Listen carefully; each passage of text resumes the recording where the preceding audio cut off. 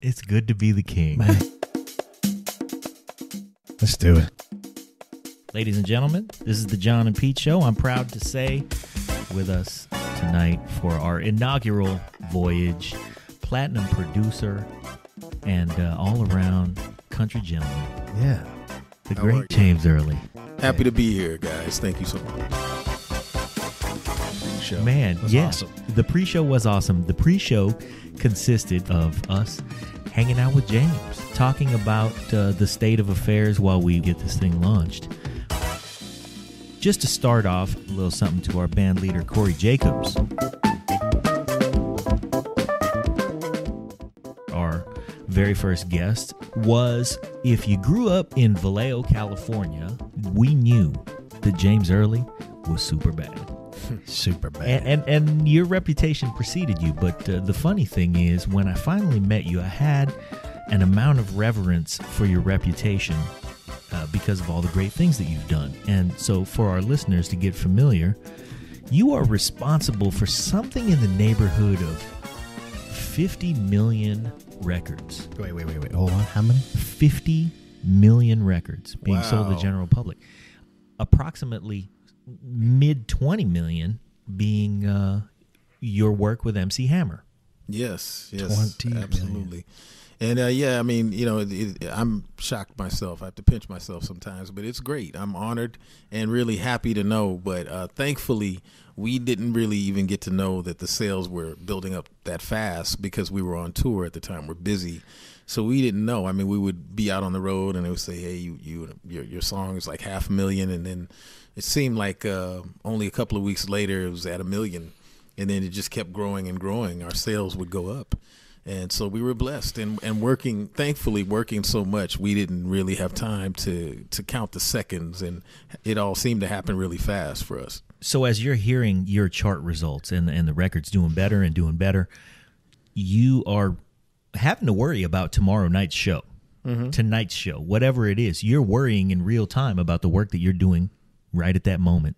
So it's not something that you could just sit and digest. Wow, look at all these records we're selling because hey, the Yeah. bus is leaving in 10 minutes. Right, and I loved it. I loved it because of that, and, and you know the pressure. I learned that I work best under pressure. It's very weird, you know, uh, but I really enjoy being under a lot of even today uh, a lot of uh, i guess i'm a multitasker because i really appreciate having to have deadlines and get things done. I think i do my best work under those circumstances. But yeah we were in the studio simultaneously preparing for a tour traveling by plane and by bus and uh, everything else you can imagine and and, and plus uh, doing television appearances as well. So we let's give there. our listeners a macro level uh, view of your contribution. We were talking about Hammer. You were uh, in early on within Vogue. Uh, you've worked with the likes of B. uh, New Kids on the Block. Mm-hmm. Uh, who else? Give us give us some uh, names of the folks that you've encountered along along your journey. I really enjoyed working alongside uh, E-40 um, and and the entire Click family. Um, you know, E-40, uh, B-Legit, uh, D Shot, and Sugar T.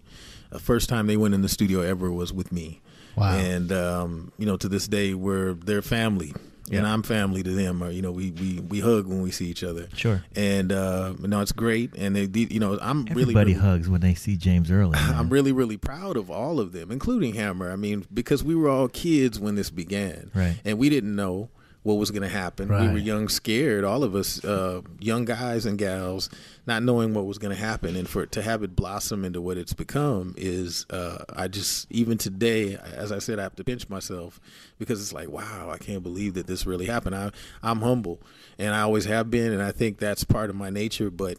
It's important to be that too. It keeps you from losing yourself. It is part of your nature. You Yeah. are Yeah. humble. But, but let's not forget, like, you've worked with Mark Wahlberg, Sly Stallone, David Bowie. I mean, I've not said a, a tiny person at all in that entire thing. but you've also worked with a lot of brand new artists. Yeah. Who, Yeah. whose careers you guided. I mean, all of those people, with the exception of of guys like David Bowie, are people whose careers you guided from the beginning. Like you said, the first time the click went into the studio, the first Right. time Earl Stevens stepped to a microphone, was in your tutelage. And and I can attest to the fact that there was a time in Vallejo, which has always been an incubator of music, in the late 80s, early 90s, where if you were a young a recording artist, the best thing that you could do was meet James Earley. and we all, you know, we all knew it. And like I said, your reputation preceded you. And tell us, uh, your first record with Hammer was Hammer's first first full fledged album, right? Absolutely. So even before that success, though, the the whole town knew you as an amazing bass player. So we've looked at the macro, but let's let's start from the beginning. You didn't grow up here in the Bay Area. You grew up in Los Angeles. Well, right? actually, I, I did grow up here in the Bay. It was, I was born in Oakland. Um, Oakland is my hometown, but um, raised in Richmond, Vallejo, Oakland, Berkeley, just all over really. Okay. Um, going to school in all of those cities, and um, just I'll go back. Um, what happened is because Vallejo Vallejo's always been home, and that's my connection to Vallejo. Is it's always been my real home because my grandmother and grandfather are from here, and uh, they worked at Mare Island forever. Okay. and so they raised my mother here, and um, you know, as a child. For vacations, Christmas, Thanksgiving, summers, we would always come to Grandma's house. It was the the hub, and so Vallejo was always special to me, but uh, uh, ultimately uh, we lived in o- Oakland, and then, like I said, moved around to different places in the Bay. And uh, my mother got into um, being an actress. She became an actress when I was a child, okay. and so I was like, "Wow, she's doing you know TV commercials, modeling, all of this stuff." Your mother has a very very polished presence. Yeah, she's she's the queen. I, she just amazes me. She's my original music teacher and all Mm-hmm. of these things. But yeah, that, when I was a kid, she got eh, you know after teaching me instruments just by playing them in front of me, she got uh, very early in my life. She became an actress and, and began working a lot in San Francisco, a lot of uh, television work, uh, movies. TV commercials, modeling, print ad, all that. She was doing it and was very successful. And then I um she I, at some point I would come with her to the set. My younger sibling Jacques would come, and as well as my as well as my older brother and sister would come. And so we were all at the set, sometimes just hanging out with my mom. And eventually the agents saw us, And they were like, "Oh, this is your family. They're, you know, you're a beautiful lady, and you, your kids are kind of, you know." Good looking, I you know what I mean. I guess we we look like cute kids, so they invited us to do some work as well. And so we started working as well. We started doing television and print ad, all that as well. And uh, again, I'm like five, six years old doing this and just like, whoa, this is trippy. This is classic James Earley humility is- because you are Right. uh, approaching fifty. Yeah, You're a good looking man. I'm trying to be. He's man. like, oh. I guess we were cute kids. You got a nice looking Yes. family. Well, man. you know, it, it blessed, but you know, it's still humble, man. But we enjoyed it. We were we were hanging out, and I was intrigued by it. You know, just I've always been a technical person, even as a child. So I was like, wow, look at these cameras and lights and action. This is kind of cool. And so we just got into it. So anyway, what happened is we were doing our thing, and then and working a lot. I mean, I was missing a lot of school in a good way. It was great because you could get out of school and be on a film set and then come back and tell your teacher and your class and they were like, "Whoa, you, You know, were out 'cause you were weren't working. Yeah, you weren't ditching, you weren't sick. You were actually in real school. you were doing yeah, in life school, you know, doing some stuff, and then also you're going to see what I did on TV. So it was like we were already superstars in school. It was great, and so anyway, we we got so busy. My mom was working; she did all the Dirty Harry films with uh, Clint Eastwood, and, and uh, uh, just a ton of other stuff. And by then, it was kind of like people were telling us you need to move to LA. There's so much work out there. Okay. You guys will do great out there. So we were like, okay. So we packed up, moved to LA, and I I wound up growing up in Los Angeles. So I'm so how old were you when I'm you all moved over. south? um we I was probably about nine or ten years old. No when we moved kidding. to Southern California. yeah, Okay. for the work. Sure. We didn't really want to leave. We loved the Bay. Yeah. Right. But again, it was about we could find more work. So we moved to LA and we wound up doing the same thing a lot more. And Jacques really started doing a lot of work, my Right. younger brother. And um, it was great just growing up in Los Angeles because we wound up going to school with. Um, you, you know, you, we're riding the school bus or riding the city bus, but we're actually running into famous people all the time, or Right. or you're going to school with the child of a famous person, or even a person that would be famous one day and you didn't know. Right. This is your bro or, you or just some girl you know that's really cool, and all of a sudden she's she's a star, and so Yeah. it, it happened a lot. And so anyway, for my years in school in L.A. I uh, I'm still coming back to Vallejo though in the summer times. You know what I mean? Holidays, we're coming up to Still see home. grandma. It's, it's Right. home, but back down to L.A. and This As I- really plays into how your personality in Vallejo got so big because I remember knowing if you are a young musician, man, James Earley, everything was James Earley, and this was before you really hmm. the success we know you for now really broke. yeah, But yeah. to our generation, and and until now, I really didn't understand completely why. Aside from the fact that you are a, at the time we knew you as a just a smoking bad bass player. Hmm. We uh, your your cult of personality grew because of all of this. Really, I think so. I, I but I didn't know it at the time. But I'm just living and, and soaking up what I could get. And I'm in Los Angeles, and right about that time when I'm in high school now, I started to Fairfax pull back. High. Fairfax High School in Hollywood, and I start to pull back from the acting thing because I'm just having so much fun in high school and just being a kid and also getting into music heavily.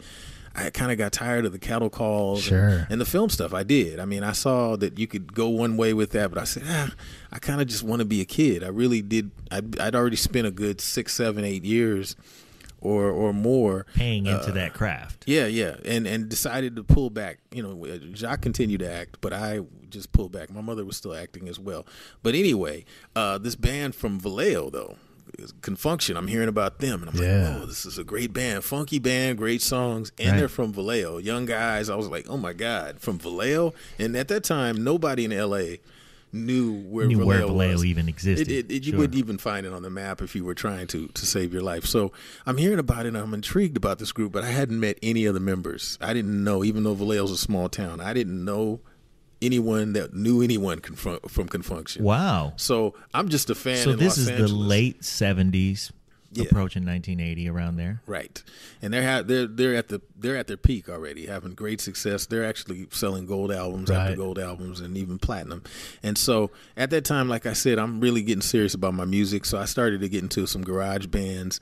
I'm jamming with other kids and stuff like that, and going to school. And uh, you know, I'll just tell you this: I'm I'm at Fairfax High School, and um, I'm in I'm in the orchestra the orchestra band. You know, I'm, I'm actually playing snare drum and reading music, looking at it. Okay, and then also uh, I played uh, upright bass. I would switch back and forth, and I remember bringing my bass guitar in there, but. Of course, I wasn't playing that in the band. It was Right. it was upright bass, but I would have it, and then after class, I would go outside and just you know pull out my guitar. You know, the chicks loved it, And riff. Right. and ri- I'm riffing, you know, I'm just sitting there. I'm not even plugged in. The chicks are like, "Ooh, look at James. Look at he's, you know, he's kind of hot." I'm like, "Yeah, what's up?"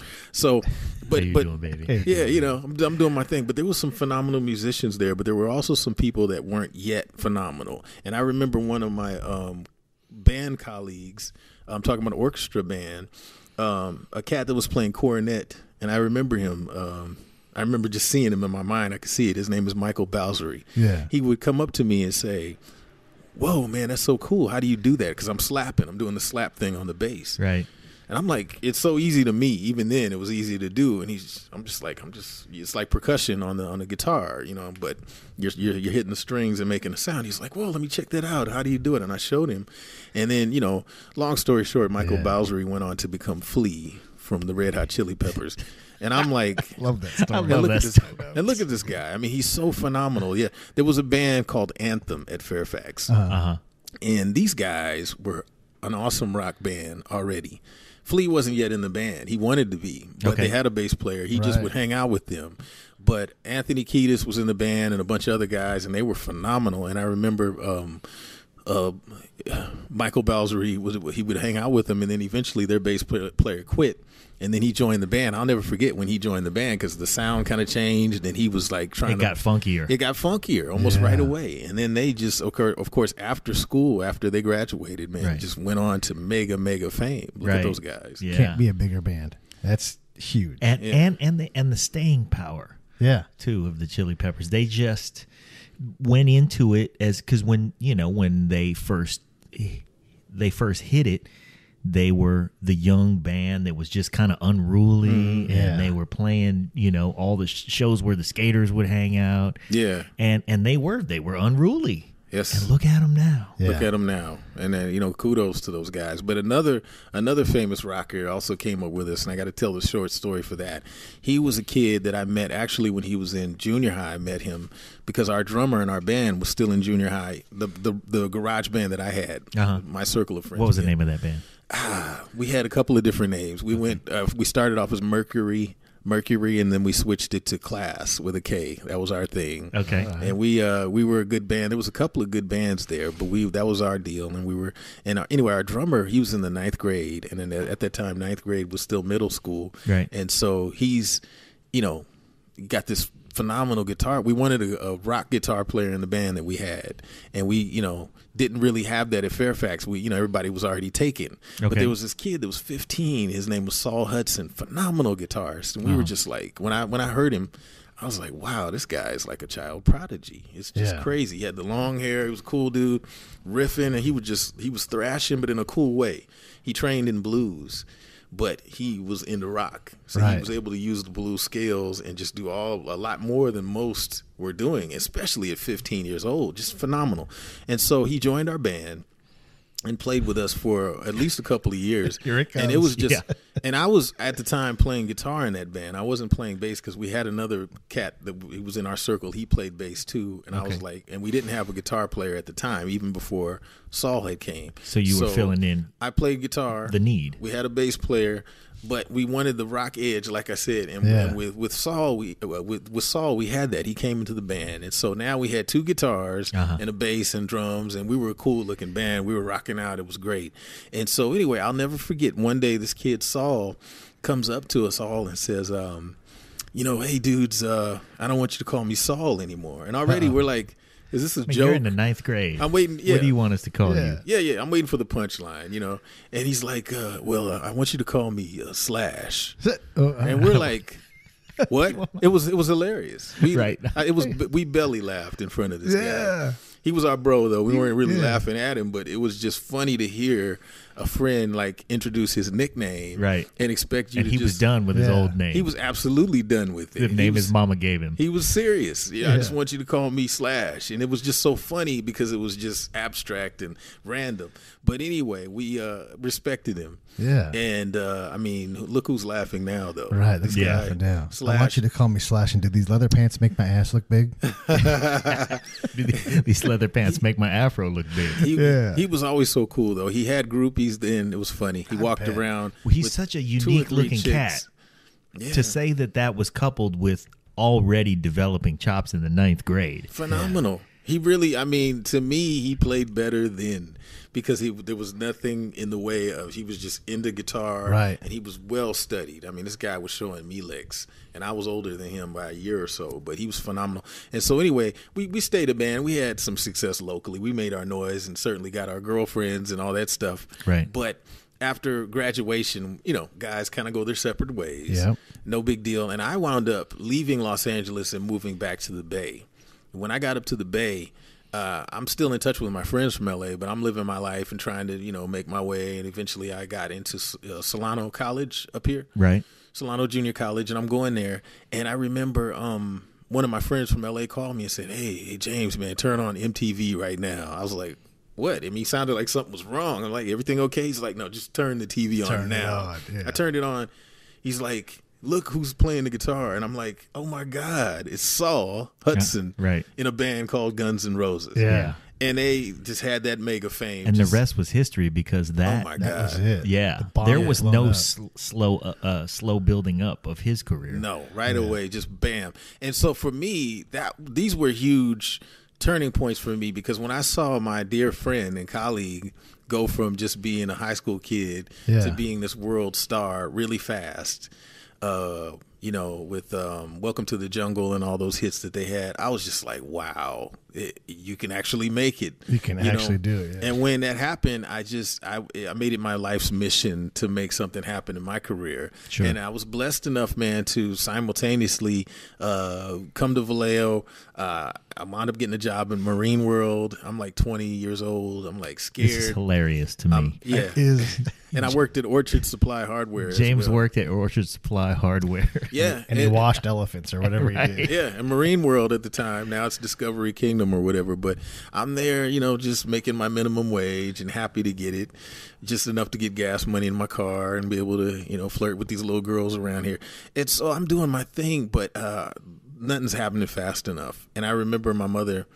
Um, telling me that uh, if I would just stay focused and be patient, she would book me some studio time and pay for it because I didn't have enough to pay for studio time. You know, she would book studio time with um, a guy named Felton Pilate, the from Really? Con Funk Shun, and I was Uh-huh. like, "Really? You have access? How do you even know Con- uh, Felton Pilate?" Well, she had a friend of a friend that knew him and had Wow. access. So Your mom is a social animal. She I think so. She, She really is. I mean, she's she's got the charisma that you know everybody's drawn to. Yeah, and yeah. just as a sidebar, uh, I'm fortunate enough to have been on. You pulled me into radio on your mom's show, Mama Knows. That's right. Yeah. And uh, man, I, your mom is just so lovable and Oh, loving. wow. You know, she Yeah. she's so warm and and it, and that. Knowing you and your brother Jacques, the apples didn't fall very far from the tree. Thank so you, we know thank where you got it from. the uh, the encouragement that your mom gave you now mm-hmm. is, is kind of a launching pad. So, meanwhile, all the rest of Vallejo knows James Earley is this bad bass player, and your mom's just saying, "Stay focused, James. Yeah. we'll get you some studio time." So I- then I think so. Yeah. let's pick it up there. So okay, I'm away from my friends though. I'm by myself. I didn't really have any chums up here, and so I was eager. I'd been doing some home demos, but they sounded like home demos. Right. And she was like, "Well, you know, I can get you into a real studio, at least to do a song there." And and I think she was just trying to lift my spirits up, as I said. And so. Um, she got me in uh, with Felton Pilate, and I was like blown away that she was even able to do that. And so she did. I met Felton. He was running the studio. It was no big deal there. I, you know, I'm trying to be humbled, and I'd already met famous people. So even though I was a huge fan of Felton, I tried not to overwhelm him with my my awe of him.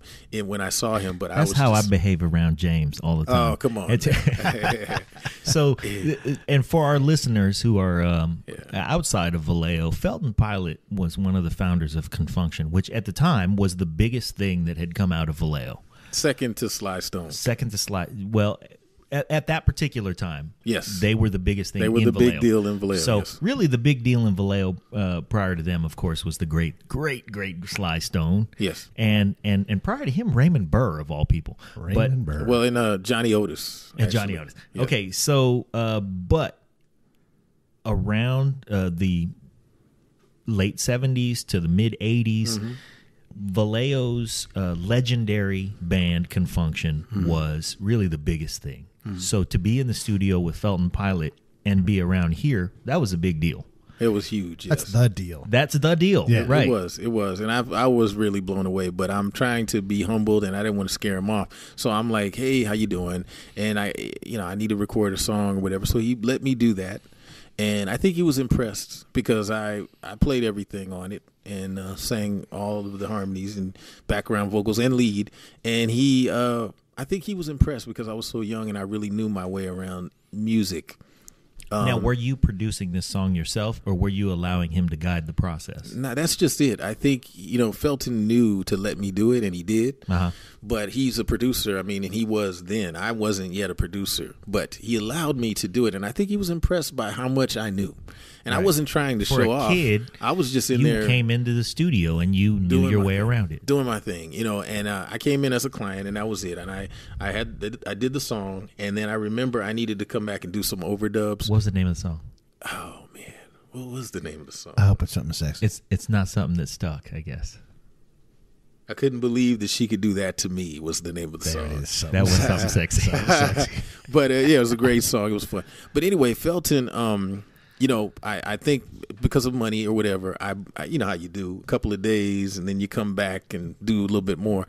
I think I had just about everything done, but I needed to do a couple of overdubs. So I wound up coming back um, to do that after about three or four weeks. And um, Felton had told me then that uh, he was going to be opening up because at the time it's, the studio was in his home though. Oh, okay. I must tell you that. Right. The studio was in his home.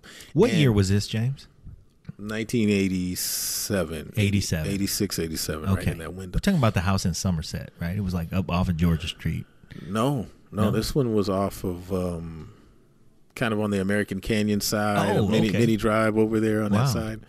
Um, he um, lived over there at the time, Uh-huh. and um, so anyway, I worked with him there first, and then I wound up going over to Somerset. Okay. But uh, that was later, and so anyway, I did what I did, and he um, had said to me the second time that he saw me that he was going to be moving his studio into a building and he needed uh, someone to run the studio with him. And already I thought he was just having small talk with me or what, but he's telling me he needs an engineer in the studio. Well, Right. And then eventually, when I didn't say anything because I didn't even know if I should, he said, "Well, so you're interested in working in the studio, uh, running it at night because I want to have it around the clock." I was Right. like, and again, You I'm working know Orchard. he met you. I'm working at Orchard and Marine World. I was like, uh, heck yeah, man, I'm gonna do this, right? Sure. And he was like, uh, Were you okay. an engineer? Did you know you were an engineer at the time? I was not an engineer at the time, Okay. and so that was the other part of it. The part two is I told him yes and was happy and, ex- and ecstatic, but then I had to humble myself real fast and be like, uh oh, Uh oh. I don't, I'm not an engineer. I have to learn this. And I'm not, craft. and he's probably assuming that I'm an engineer, so I better tell him Sure. now before I leave. Don't let it drag out. Don't let Yeah. it, you know, mushroom. And so I just told him, I said, "Hey, man, I really would love to do it, but I don't know how to operate any of this stuff." And I knew that the next thing out of his mouth was going to be like, "Oh, I'm sorry. I need somebody that knows so we can get on with it." Yeah. Right. But he actually said, when I said, I'm sorry, I don't know how to operate any of this stuff, and I was really sad and felt dejected already, he said, You know what? I'll show you how to run all this. And I swear that I heard the angels sing at that moment. I, Right. I know I Yeah. did. Yeah. It wasn't just like I'm imagining. I heard angels like Star Trek theme, you know. And so I was like, whoa. And so he just said he'll That's show like me. admitting to Mickey Mantle, like, yeah, you know what? I know we had a good time yesterday, but I don't really know how to play baseball. and Mickey Mantle says, you know what? Just, you, eh, don't worry. Yeah. Don't worry. We got it covered. yeah, yeah. I mean, but Just it was come back tomorrow. Yeah, it was great, man. He said, yeah, he basically said, come back tomorrow and I'll show you how to do it. And he did. And so, long story short, he taught me really fast because Felton, a lot of people aren't aware of the fact that Felton is some kind of um, technical genius. He's a technical savant. He is. He absolutely is. It's kind of freaky how intelligent this man and how smart he is about electronics and how you know he's he's a fabulous musician. He's a multi instrumentalist himself. Mm-hmm. He can play twenty instruments phenomenally. Right. And he's The a trombone. great singer. He plays the trombone. He plays the trumpet. I mean, he plays, all plays- the most. The, he plays all of the mainstream instruments. Yeah. But the first time I ever went to a Con Funk Shun show and saw him burn on the trombone, burn Yeah, on the trombone, I thought, well, now it's serious. I Yeah. mean, because the trombone is not something you pick up casually. No.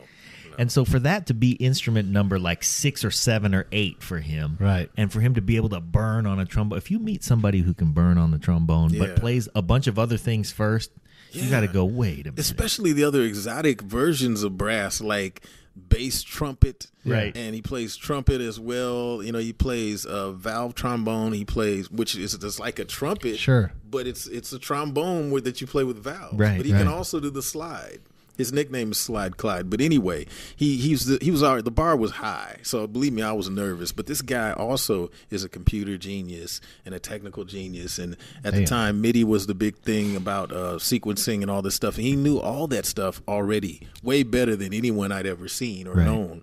And so he takes me in, he shows me all that, and gives me a crash course in it. And I think he saw something in me that I didn't even really see in myself because he knew that I knew some things about technical, and I think that was the other attraction musically that he had for me. But at the same time, he had to teach me a bunch of stuff so that I understood it.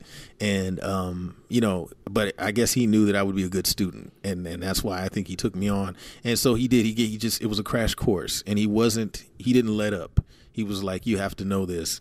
And uh, let me just go ahead and tell you this. He he um when it came time to do what I needed to do, he put me in his studio, right? And uh, we, we we moved into the new unit. We're there. All the equipment is now basically in boxes in the corner. and he said, "Okay, I want you to unpack all of the studio equipment. He made the you build reel, the studio. the the mixer. Uh-huh. It was a huge mixer, you know, 32 channel mixer or whatever, but Right. it had all, you know how it is, the spaghetti we call it, all those Yeah. cables. It looked like a telephone operator in the days Right. were old, all the the uh, connection board. And he he said, "Unpack that stuff, put it together." And um, I, by the way, I'm leaving. I have a meeting. I'll be back in three hours. Your lesson in signal path yeah. Yeah. was to build a recording studio. It was absolutely. Here's it was- all the stuff. Yeah. Build the studio. And good luck. And I'm leaving. I'll be back Yeah. in Not- three hours. I was hoping just he'd be on the phone or something, but now he's leaving. I got a meeting to go to. It's very Right. important. So anyway, he wanted it done, man. The sweat started flowing. I'm like, oh God, this guy's gonna come back, and none of it is the, the boxes are still gonna be, you know. And so I just didn't know what to do. b- But I remember what he said. I took the instruction, I put it together, and when he came back, the studio was up and running, and I was terrified. I really was. I was. I just knew I'm going to be fired when this guy Yeah. comes back. He'll probably be sweet about it, but he'll say, "I can't use you here because you, you didn't you didn't pass the test. you didn't pass the test." Yeah. But I did, man, and I I I, I felt like I didn't, but I did. Now, knowing what you know now, Mm-hmm. how how built was the studio?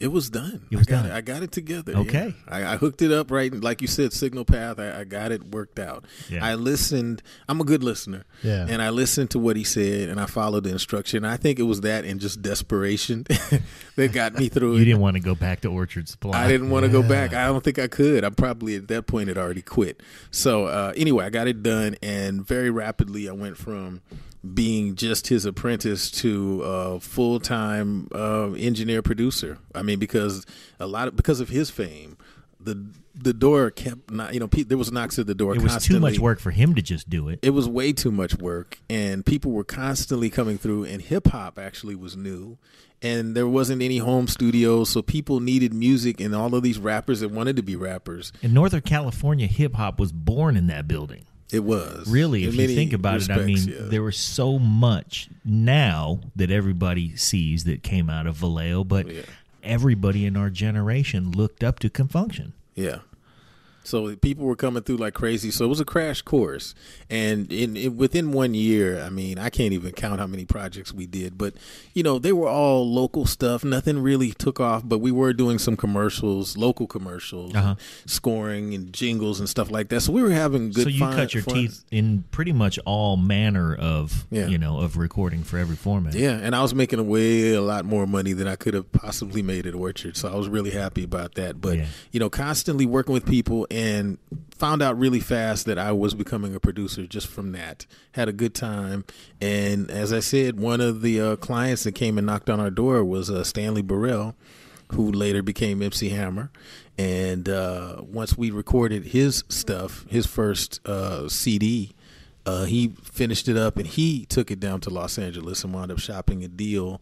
And um, all the labels actually started a bidding war for him.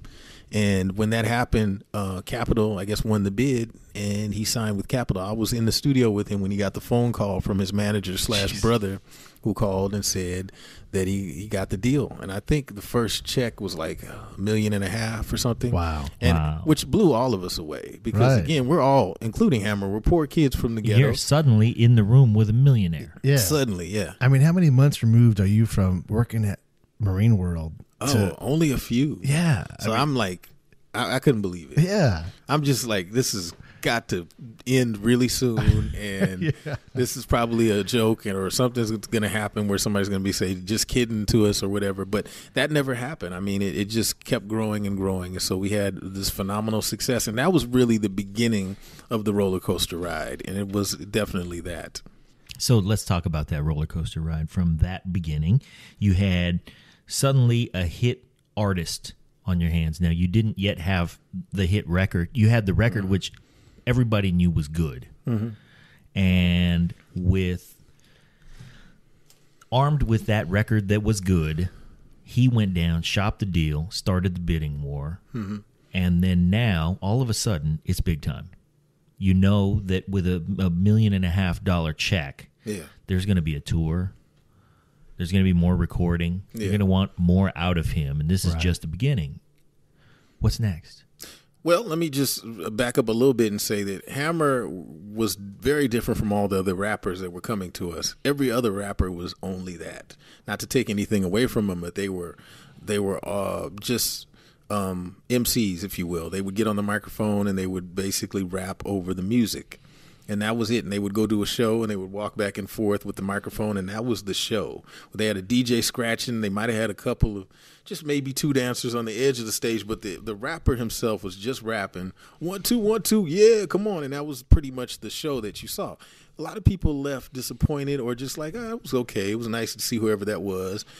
Hammer came a little bit different because he was really a dancer that chose to that became a rapper. He was a dancer that became a rapper, and also he was a preacher. And a lot of people know that he become a preacher later, but he didn't become a preacher later. He was always a preacher when he was MC Hammer. He was one of those young preachers that you hear about, but maybe not everybody sees. But he was an ordained minister when he was like eighteen or nineteen.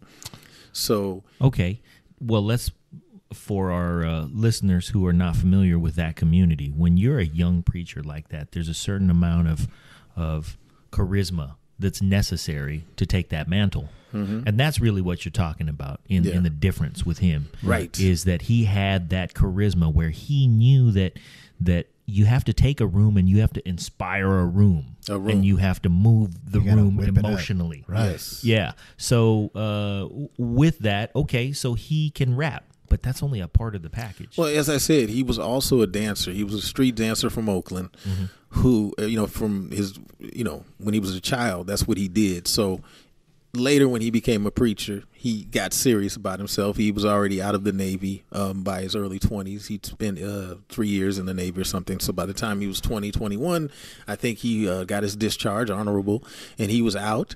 And he decided to be what was called the holy ghost boy. He was just going to do gospel rapping. But what happened is he had success such fast success, I guess, man, because he was a dancer, he wanted to see if he could actually merge the two. But he knew he probably couldn't be a dancer doing the gospel thing. Right. So he just said, I'm just going to do secular. And, you know, I'm going to have fun. I will still do a song for God on each album, which he did. He, he still does to this day. He does mm-hmm. one song for the Lord on every album. But then everything else might be about dance and just having fun and partying or whatever and um, so he would do these songs and it, it, was great what we did in the studio. They were really high energy songs, but it was it was phenomenal because he had a different process too. He would come to the studio, and me and Felton would make the music, but this guy would actually dance in the studio to the songs. Right. Him and his dancers. Okay. Would have us turn the music up loud, and if it was if the tempo was too slow, if there was something in the rhythm that wasn't right, you know, you got to put a cowbell in there because I got to dance a little he bit. He needed the room to move. He needed the room to move in, in the studio even, right. and so it was very different process working with him, but we really enjoyed that. And uh, I so think that's what gave him that edge. The initial concept there. of that record, you guys were in there, and it had to move people. Yes you know, booties had to move. We had to make dance records right from the gate. Oh, and, right. And we did. And so when he would go do the shows, I mean, people would go nuts. I'll never forget that. I would come to him. We would record the song in the studio and then take it right to a club. He had connections already. Right we would take it right from the studio to the nightclub and he would perform at some of these clubs. They would already be expecting him as a guest and we might even do the new song that we just recorded just to test it out. And i just remember how people would go crazy for this guy at a club and he's unknown at the time. But at the same time he's shopping his deal at capitol so i guess they caught wind of it and the word got around and he made a music video and then that's what incited the uh the uh the bidding the war. bidding war in los angeles. He had the foresight to make a video. Mm-hmm Wow. Beta. It was shot on beta. shot on beta. I had at the time a friend who was training with a martial artist in Oakland named Dathan Taylor. Mm-hmm. And Dathan Taylor was was friends with Hammer. Mm-hmm. And so, as you describe this, I remember uh, my friend had a cassette that he let me listen to in his car mm-hmm. of those early, early recordings before you know, before they'd hit the airwaves. And he said, mm-hmm. Man, you got to hear this dude from Oakland. His name is Hammer. He's a friend of Dathan Taylor. And he put it on, and there was so much percussion. Mm-hmm. Yeah. And there was so yeah. much going on. It was so busy. Yeah. And I was just going, What is this? You know? and then at the time, you could say, Man, this dude is really different. There's really a lot more going. I mean, you can't help but get charged from it. Mm-hmm. So th- the only thing, the only other thing going on, um, you know, in Oakland rap at the time was Too Short that we knew of, and it was so different. So different. Yeah. So yeah, we we we uh, we hear you, and now hearing that he his process was different, really not that much It of makes- a surprise, but it it, makes sense. Yeah, Yeah. it makes all kinds of sense. And, and so from there, what happened for us is uh, he shopped the deal. He got the deal with Capitol. They put out the record. It did phenomenal almost right away. Yep. For a brand new artist to go triple platinum was pretty crazy. And that first triple platinum album was produced by you and Felton. Yes, let's And- get it started. Let's get it started. And so the, while the record was doing this thing, Hammer was out supporting it, doing shows. And so me and Felton were just back in the studio working with other people like E-40 and whoever else in Vallejo. was coming in, And yeah. we were happy to be doing it because we really started to get a lot of work from that. And it was great. But what happened is uh, Hammer showed back up to the studio.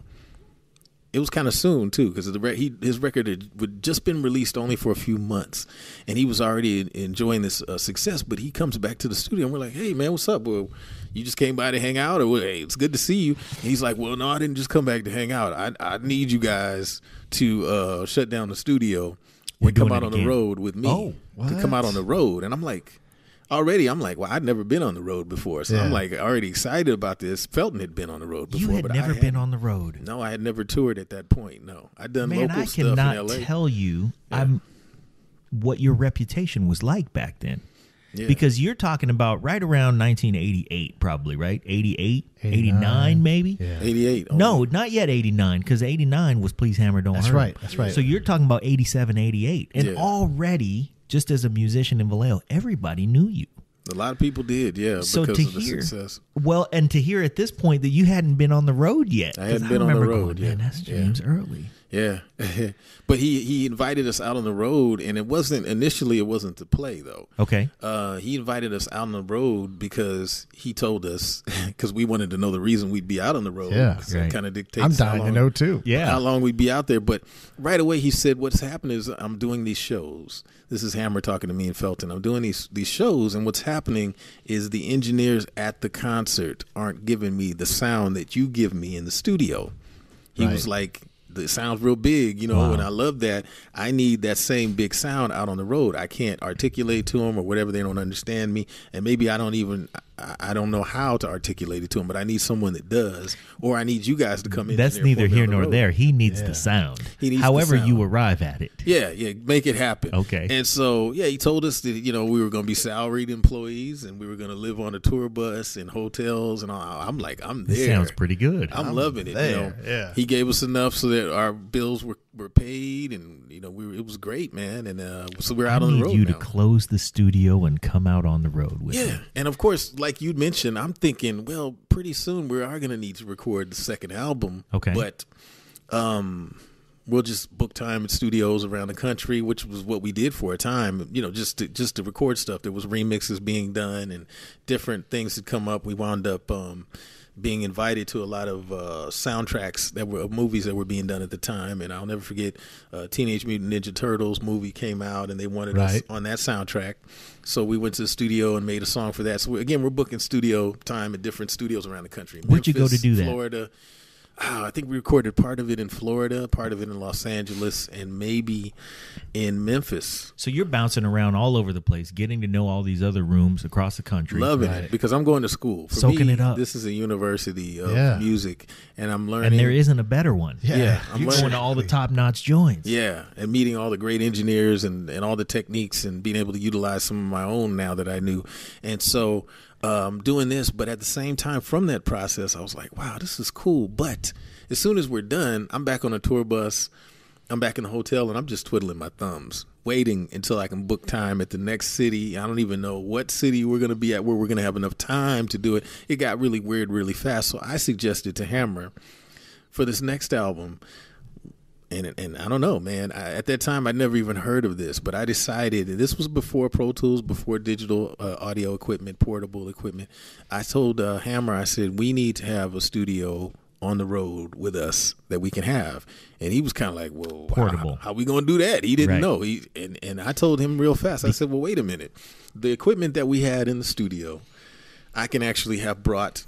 To a, a tour bus, but I need you to rent us or lease us or whatever. Provide us with a tour bus, and it's, it'll save us money anyway. It'll be cheaper than the studios that we have to rent time at, but let's get out the back of a studio bus, uh, I mean a tour bus, and, and turn it into a Build studio. the studio in it. yeah, which meant um, we had we used a 16 track reel to reel machine.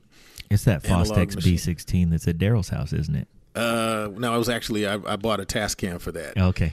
The other one is one we we did. Let's get it started on was the Fostex. Ah, okay. But the next album, Please Hammer Don't Hurt 'Em, we actually purchased a Tascam, a 16 track half inch uh, machine, and then uh, we we got I think uh, a Panasonic mixer For And so- recording studio nerds out there, Yeah. the huge, uh, the enormity of the sound of "Please Hammer, Don't Hurt 'Em" was recorded on a half-inch 16 track. 16 track analog, yeah.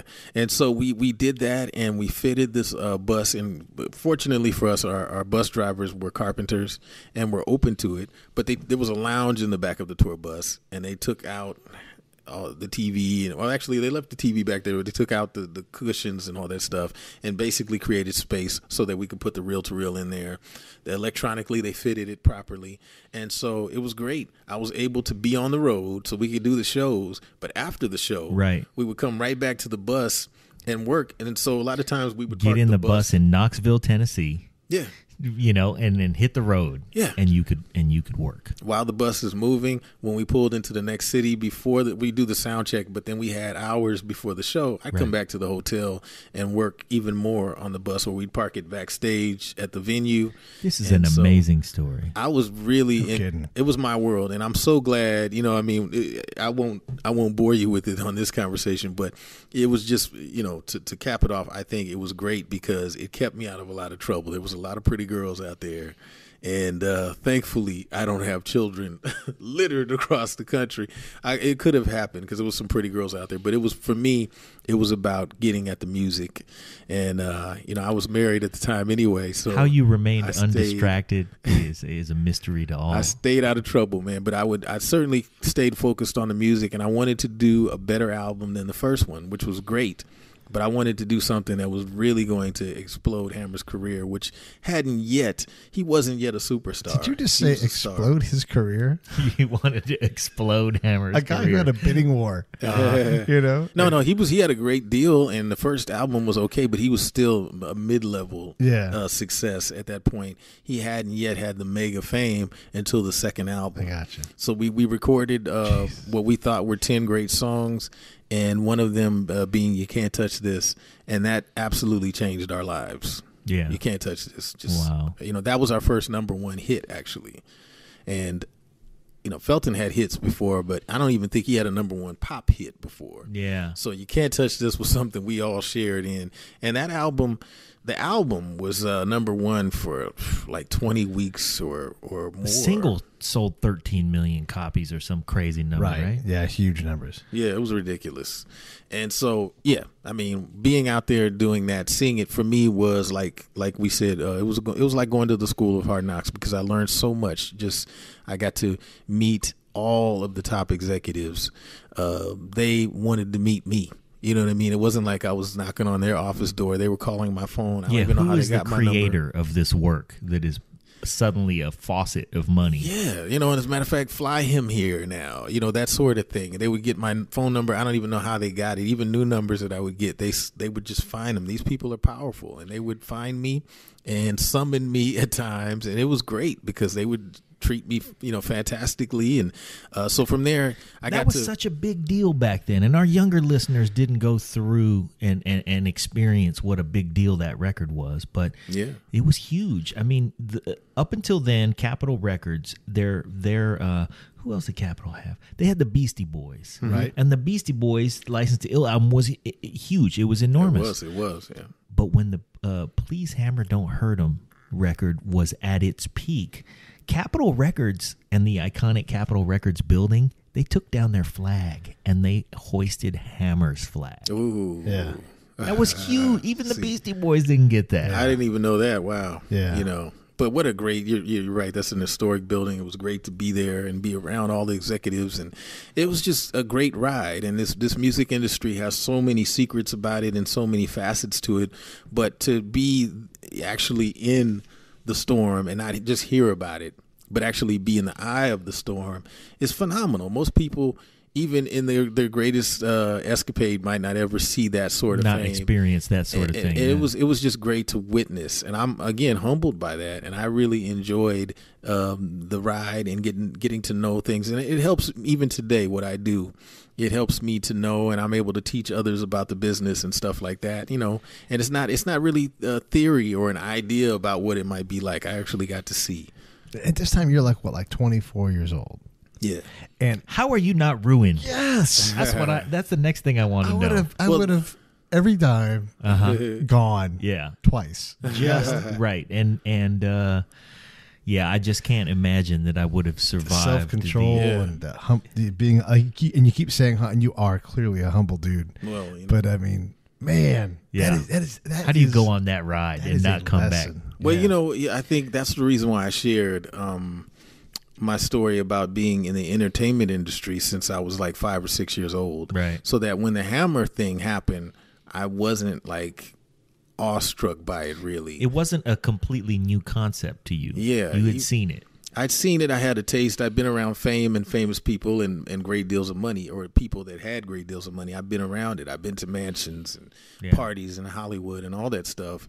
So by the time the Hammer thing happened, I was probably the only one in the whole posse that was just kind of like, it's Yeah, great, This but is fleeting. yeah, it's great, but yes, let's stay humble, steady as she goes. Let's stay the course. Let's make sure that we stay focused get back in the studio and work on another album. Let's think about the future. I mean, that was my whole thing, always. And Yeah. whereas other people, yeah, were freaked out and they were like, "Oh my god, I can't." I was just like, we don't really have time to trip off of that. We have to focus. So we're meeting famous people all the time. We're going to the Grammys now, Right. The American Music Awards. This Hammer is one of those experiences where you're just going through the country, really just making your way, cutting a swath through the middle of the country. And if you're Hammer, you can wake up Mm-hmm. and decide who it is you want to meet that day. You know, where are you? Well, I'm in Memphis. Well, who do you want to meet? Well, who's here? Yeah. And and you really on that tour are in a place that many people don't get to experience, which is you wake up in a city and that city belongs to you for that day. And Mm-hmm. if there's somebody in that city that's worth meeting, you can meet them. That's right. what an amazing experience. It was great, man, and it's it's been great, and it continues to be. And as I said, you know, um, being invited to Jimmy Iovine's mansion, and and you know having him hire me into the studio to work on projects, and Say what? know, I know, right? hang out yeah. with this guy. I Let me mean, get my yeah, jaw I mean, off the floor here. My mind too, though. I mean, but he's a great, phenomenal guy, and just really cool people. He's really humbled and down to earth. But uh, Well, Jimmy Iovine has right now is uh, you know made out of money, and he's Yeah. known at this very moment by a, a whole generation of kids as the guy who was the half partner in Beats, and so they made all that money. But Right. if you rewind his career to a lot of the places that people don't know about, even at the time that you're talking about in the in the late 80s he had already done things like record Tom Petty Yeah. and you know he was already a force that that uh, was firmly cemented and so this is the kind of company you're keeping on this tour Yeah. No, absolutely. Not even just the tour, but in in general, In just like. I said, industry Yeah. functions and Yeah. Grammys and and all the the award shows and Oprah and Arsenio, just everything that was the hot show. oh from the time. arsenio man Yeah, yeah, it was great to just be there, you know, on the set. You know, you see it on TV, but then to be there on the set, backstage, hanging out with him and all that is just like that. Right. That is surreal when it happens, and it's like, wow. I remember a few things about the Arsenio Hall show, and one of the things I remember clearly, and not just snapshot time images, like video, is Hammer going lunatic crazy all over that stage, and lighting the place on fire. Right, Yeah, and, and thinking, I've never seen someone who's so fit, Yeah. because he's clearly singing this song, Yeah. at, least, at least from what I could see, Yeah, and he's dancing a million miles an oh, hour. Oh yeah, he wasn't lip syncing; he was doing No, his thing. and those pants are going a million miles an hour faster because you're like, what? Yeah, it's hard to even process, and it was so incredible, so impactful. It was, man, and I appreciate that. But it was just like crazy watching him every night. He was that way on any stage. So by the time we got to night the TV after shows, night after night yeah, it was just kind of like, well, there he goes again, you know. But it was, it, you know, it's just great to see. And so from there, you know, I'm getting invited to work with other people, but not yet. Had I left uh, Hammer, I, I continue to work with him throughout the success of the release of Please Hammer Don't Hurt 'Em, and then we did Let's Get It Started. Uh, no, excuse me, not Let's Get It Started. We did Too Legit to Quit. Uh, was the next album, and I, simultaneously I was working with Oaktowns Three Five Seven on their second solo record, and um, just a ton of other stuff. Like I said, soundtracks. Um, I got to work with uh, Sly Stallone. He um, he was aware of Hammer's success, and he hired us to oversee the uh, soundtrack for uh, the Rocky Five film. And then um, from that, we were invited to score part of it which was great because uh, we started. You know, he gave us what he wanted. First, he sent a note, a letter. It might have been a phone call as well, saying what he wanted and what kind of music he wanted. And I just based on what he asked for, and I look. He also sent some clips from the movie, which hadn't yet been released. Of course, he was still filming it and editing. And so when I saw the dailies, I was like, "Whoa, that's kind of cool, high energy." So I did basically a song for the film and uh, he, when he heard it, he was just like, "Wow, this is great! You know, I want to meet these this guys. Is it. This is what I wanted. This is what I wanted. There's just one thing I want you to do, whatever it was. I don't even remember now, but he said there was one thing he wanted us to do, and uh, that he would want to meet with us and tell us. I was I was really really happy that I left this thing out. So here we now, go. There's there's all this opportunity to meet all these people, and yeah. you get a call from Sly Stallone. Yeah. He yeah. wants to meet you and tell you this piece of yeah, I'm I'm, I'm so glad that I didn't get it quite right because right. I was in a studio in New York producing it at the time. Uh-huh. Because we were on the road, and I would, like I said, sometimes I would go to other studios if right. I needed to. If I didn't have the bus still, even though we had the bus, if it wasn't with me, I would record in whatever studio. And we were in Manhattan, and I remember booking studio time there, and I did what I did. Where? Do you remember the studio? no, I don't. Okay, please continue. I, I have to ask two questions before we get remember. too far past Sly. One is, is one of the things did he ask you? You have to give Frank a job. you have to give Frank a job over here. Yeah, over here. No, he he didn't do that. He didn't do that. But I hadn't yet met him in person, so I'm I'm in Manhattan right now. We we did we saw the dailies and we we yeah. uh, actually scored to what we saw. We sent it to him at that time, yeah, the internet was new, but I think we sent it over the internet. It was brand new at the time. And he got it right away. He listened to it. He said he liked it, but there was one thing he wanted us to add and that he would like to meet with us in Los Angeles. So um, I had my first Learjet plane ride. It was, he summoned you. He summoned us. And sent a plane. Sent a plane, Learjet. And I'm like, whoa. And honestly, getting on a plane so Sly can meet us in Los Angeles. The plane was so small that I was afraid to get on it. I ain't gonna lie, man. Yeah, it it really isn't much bigger than this table that we're sitting in front of. Yeah. And for but our listeners, beautiful Learjet. James Earley is not a small person. No, he's a full nah, size dude. Yeah, he's I'm a big dude. guy. Yeah, but yes, we me and about seven or eight other people got onto this little tiny plane. Yep. And uh, lean, great shape. Yeah, I feel like if you, um, you know, if you hadn't had that success in in uh, music hmm. early on, you probably could have been linebacker. Yeah, I probably would have been, you know, if I got invited to. But uh, you know, I'm I'm going to meet. Speaking of great bodybuild guys, but I'm going to uh, meet uh, Sly Stallone. He's, right, he's Rocky, who at the time was at the peak of his fitness, which was at the peak of fitness in general. Yes, he was. He was at the at, at that time the fittest guy on the planet. He was both Rocky and Rambo. And Rambo. Right. He was the guy you didn't want to mess with. And so we go to his office, and I'm expecting what you guys imagine. I knew when we did meet with him when we got off the plane and went to his office in Hollywood. I just knew that he was going to open the door and be, "Hey, yo, how you doing over here? Sit down. What I want you to do is," oh, it, I just I expected that because that's all I've seen. Sure, but he was this phenomenal, articulate, um, uh, astute businessman and so polite to us, man. It blew me away. I was just, I was absolutely floored. I did, in fact, judge a book by its cover. I had no idea, but he's, um, I've since studied up on him and everything. He he actually wrote Rocky. Yeah, that's his. He's, that's his yeah, movie. Well, his you know baby. what, and and and I don't want to derail from your story for very mm-hmm. long, but he not not only did he write Rocky, but he got a meeting with MGM, and MGM offered him two hundred and fifty thousand dollars. At the time, he was sleeping in a broken down Pinto. He didn't yeah. have anything. Yeah. He had nothing, and he had the wherewithal to say, "No, thank you.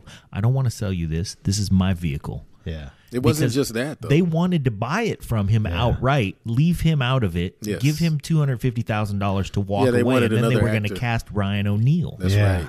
But he insisted and said, "No, I want to star in this film, and you can keep your money." You know, of course, they wound up signing What him anyway. move. And then look what happened. I mean, he just he he basically created his own stardom. So that plays right Self-made. into what you said. I mean, he's an astute businessman. He's Mm-hmm. articulate. He knows exactly what he's after. Yes. And now you walk into the room, and what he was after was James Earley, and there you are. phenomenal gentleman. Um, one day I'll bore you with what his office was like. Cause There's no. crazy. You don't tell boring stories at I all. I want every bit of it. I love it. It was just crazy, man. His office. The short version of it is we come in and he we he has a, an office or at least an area that you go into where the secretary is that looks like every other office you've ever seen. Have a seat. Mr. Stallone will be with you. We waited the traditional 30 minutes that you might imagine, maybe even 45, but okay, you're, you're going to wait. But you're about to meet Sly. You're gonna wait. If it's three hours, Right. you're gonna not go anywhere. I wait till Thursday. To Yeah, you know what I mean. I might, I might have to be kicked out of this building. Uh-huh. So anyway, I'm sitting there, and uh, we get invited in to eventually after 30 minutes, and uh, you know the secretary says, oh, "Follow me this way." So we go into the office. There's a door right there. Uh-huh. It's not like we had to walk down a hallway. We go right through the door. This dude's office is huge. It's not just your average size room. It's a giant room. Like, whoa. And there's inside of this giant room, there's just a bar and a giant bed. a giant bed, which I've never ever I mean, almost like that. some crazy fairy tale. The bed was bigger than anything I've ever seen before in my life. It wasn't it wasn't a king.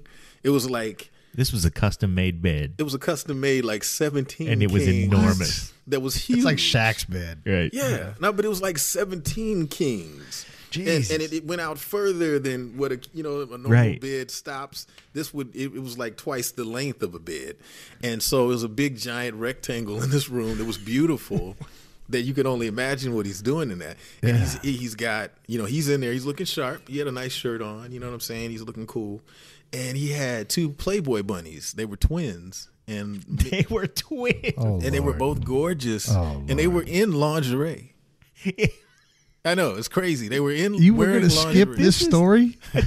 I just it blew me away, dude. Even now that I'm thinking away. about it, and we Hey, come in this there. was a guy in the middle of the week. This is his work day. This is what his work yeah, day. yeah. was. This is a, it's a Wednesday. It's not Saturday I or gotta take a meeting. night.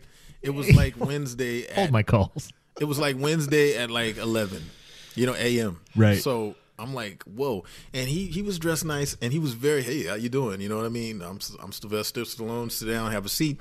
And so we were happy to see him. Me and a, a couple other guys that were there, uh, representing Hammer or whatnot. We came in there and we sat down, and um. I'll just never forget. He asked us, "Did we want something to drink?" And we, you know, of course, you're almost afraid to ask. He's Sure. like, "No, no, you, you want it?" I was like, "Yeah, just give me a soda." So he had the young ladies get up and go to the bar, make the sodas for us, whatever it was. You know, I didn't want to drink you in something front of nice. Sly. Yeah, Right. they bring it back to us. They give us the drinks. They don't even speak, even though I'm sure they could. They didn't, and they came back after they were done with that and sat at his feet on the floor.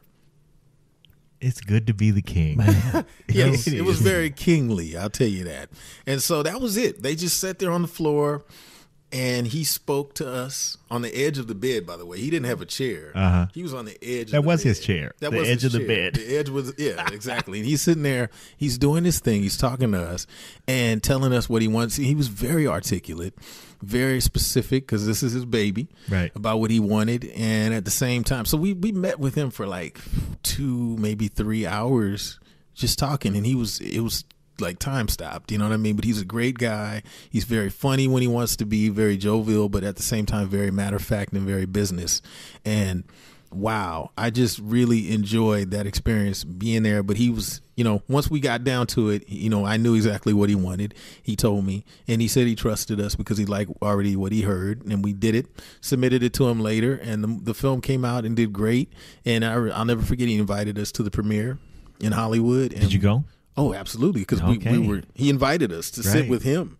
Oh, wow. No kidding. There was a ton of people there, and he was like, "These guys are going to sit with me." You know what I mean? Wow. So we sat with him and we watched it. And it That's was like, incredible. yeah. Holy moly! Yeah, it was just crazy. It was This like a is- dream come true. Man, This was for the sure. boring. James was not going to bore us with this. I don't want to bore you with the, with the Hey, story. man, it That's a was- short story too. it Remember, was there's more just- detail. Yeah. yes, there is, but I won't. I won't Yeah. bore you with that. So I have to ask. Uh, all of this happened during the Hammer tour. Yeah. And uh, When's the last time you talked to Hammer? um, you know, like I said, what happened after the success that we had, it was so mega. Everything kept growing and growing, including right. Hammer. You yeah. know, and I don't really fault him. I mean, you you hear all these stories, but his fame grew so much, so fast. His finances grew so much, so fast. But attention and everything, he probably didn't sleep at night. And then what happened was, he became never inaccessible to me. I could always, if I needed to talk to him, I could. But he had so many bodyguards after a while and handlers and just hangers on. Hangers on, yeah. Many of them that I never met before in life. You know, I would go right. away and then even doing the sly thing that he had, he assigned me to do. When I come back to try to share it with him, there's like seven bodyguards that don't even know me that are trying to stop me. It's new people. You can't even go into his dressing room. I'm right. like, the hell I can't you know, he wouldn't have one if it weren't for me, and he'll tell you that. You know what I mean? And of course, you know, he came out one time and heard me getting into it with the bodyguards. It was like, no, no, no, this guy always comes in here no matter what. But I could see that it was getting out of hand. Right. And I just said, I don't know. I'm getting offers to work with other people, and I got tired of being on the road. So you got off the bus. You chose to get off the bus. So I to chose to get off the road. Yeah, we were, but at that point we weren't even on the buses anymore. Yeah. We, eventually, well, I was speaking fame, figuratively, but literally, you weren't on the bus anymore. Well, what happened is he eventually got so big, Capitol bought him a uh, 727 jet, right? Yeah, and painted Hammer Time on the side of it, and so we flew everywhere we wanted to go after that. You know, at that point, but it was and gone were the days.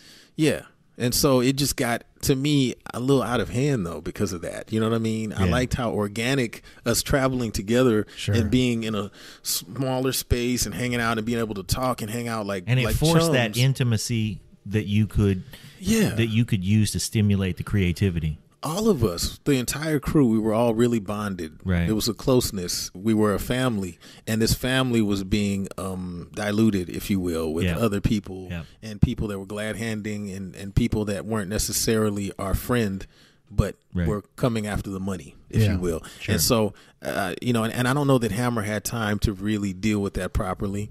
But instead of you know grabbing That's him a and big, shaking big him, challenge. And Yeah. you're right. He was so busy that I could see that getting out of hand, Yeah. and and he doesn't have time to deal with that. Yeah, and as his friend, I mean, I, I considered him to be a, a dear friend.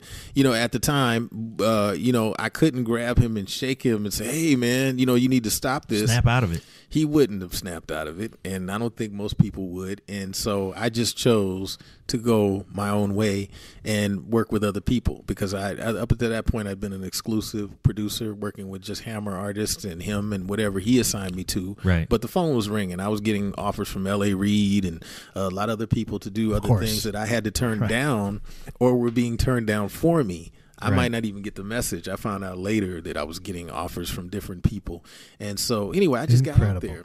I wound up, Wow. you know, doing my own thing, and uh, yeah, I wound up working with Jimmy Iovine, and um, spent a lot of time working at Interscope Records, and uh, pretty much doing production That was the at all that the was major pretty labels. much the beginning of Interscope too. It was the Yeah. very beginning of Yeah, Interscope. right. Yes, Ted Field and um, Jimmy Iovine started a label called Interscope. Right. Actually, it was Interscope Film at first, Huh. and then it became Interscope Records. And they merged with. David Geffen and Right. gigantic, huge.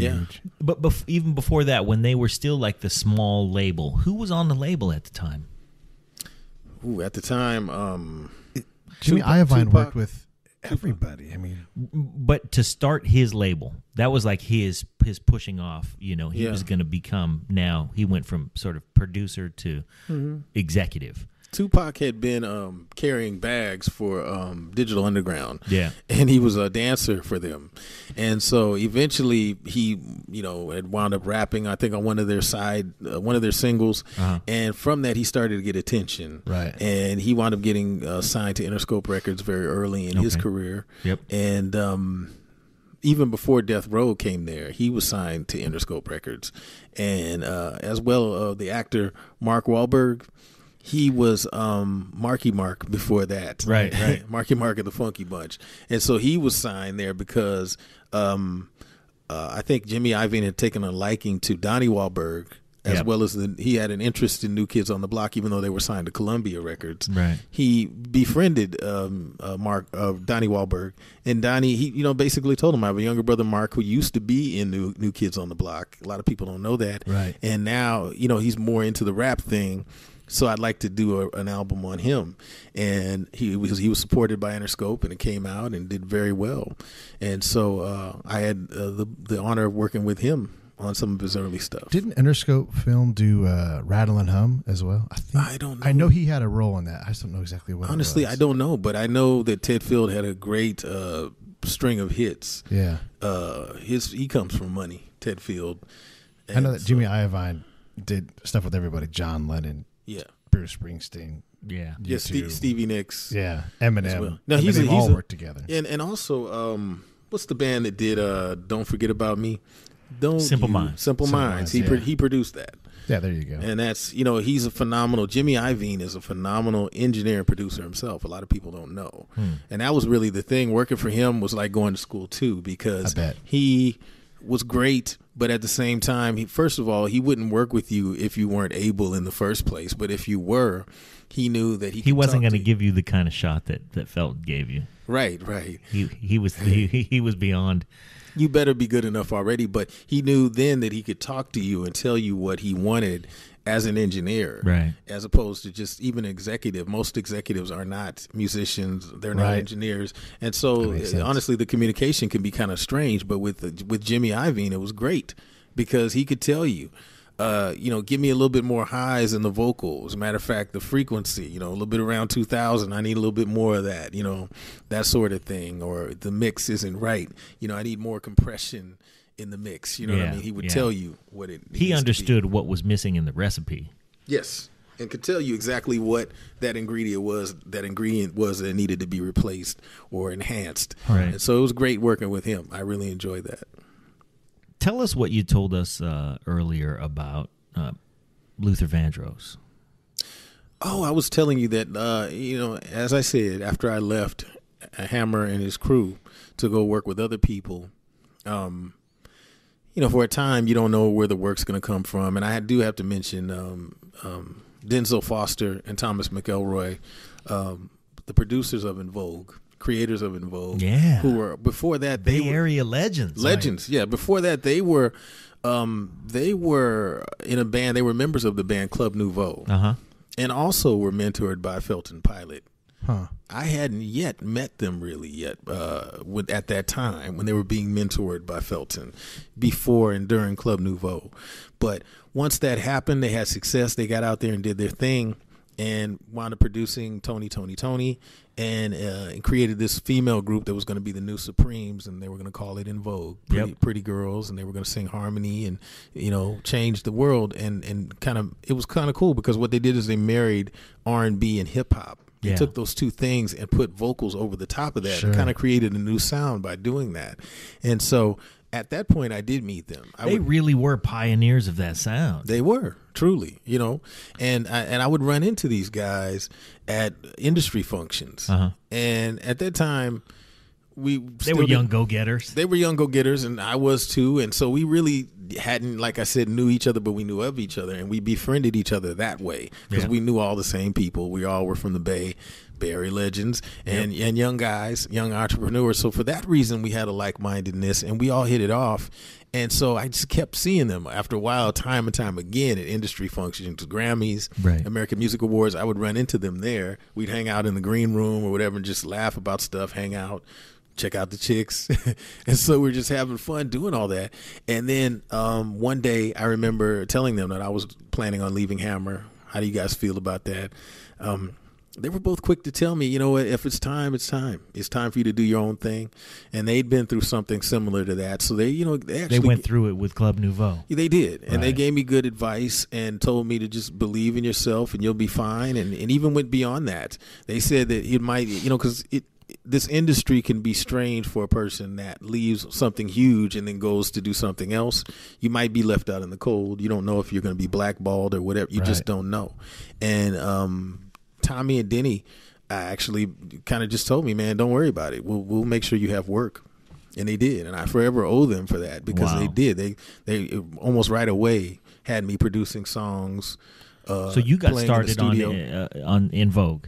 Yeah, I mean, well, I was doing that. I was working on other things, but they just made sure that I continued to work. Is what I'm saying. Sure. I had other work as well, but it was fun because I really liked Tommy and Denny. Um, we had, you know, we came from the same place. They were Bay Area. I wasn't out in Florida or New York. I was here in the Bay Right. and able to work with these guys that were cool. And they stayed in the Bay. Yeah, they stayed in the Bay. Their studio was here, or we were working out of Fantasy Yeah. and um, at uh, Starlight Studios in Richmond, and then ultimately decided they were going to create their own place. And so, anyway, we hit it off, and we were doing a lot of stuff. They're in the studio working with En Vogue. They brought me in to work with En Vogue, and so I'm hanging out with the girls, and you know, I'm playing on other projects for them as well. They would hire me to play bass and guitar and produce on different things. So it was great just being around these guys, and you know, uh, just going back to mentoring. You know, I have to give them credit. Uh, you know, these guys are my age, but I have to call them my mentors as well.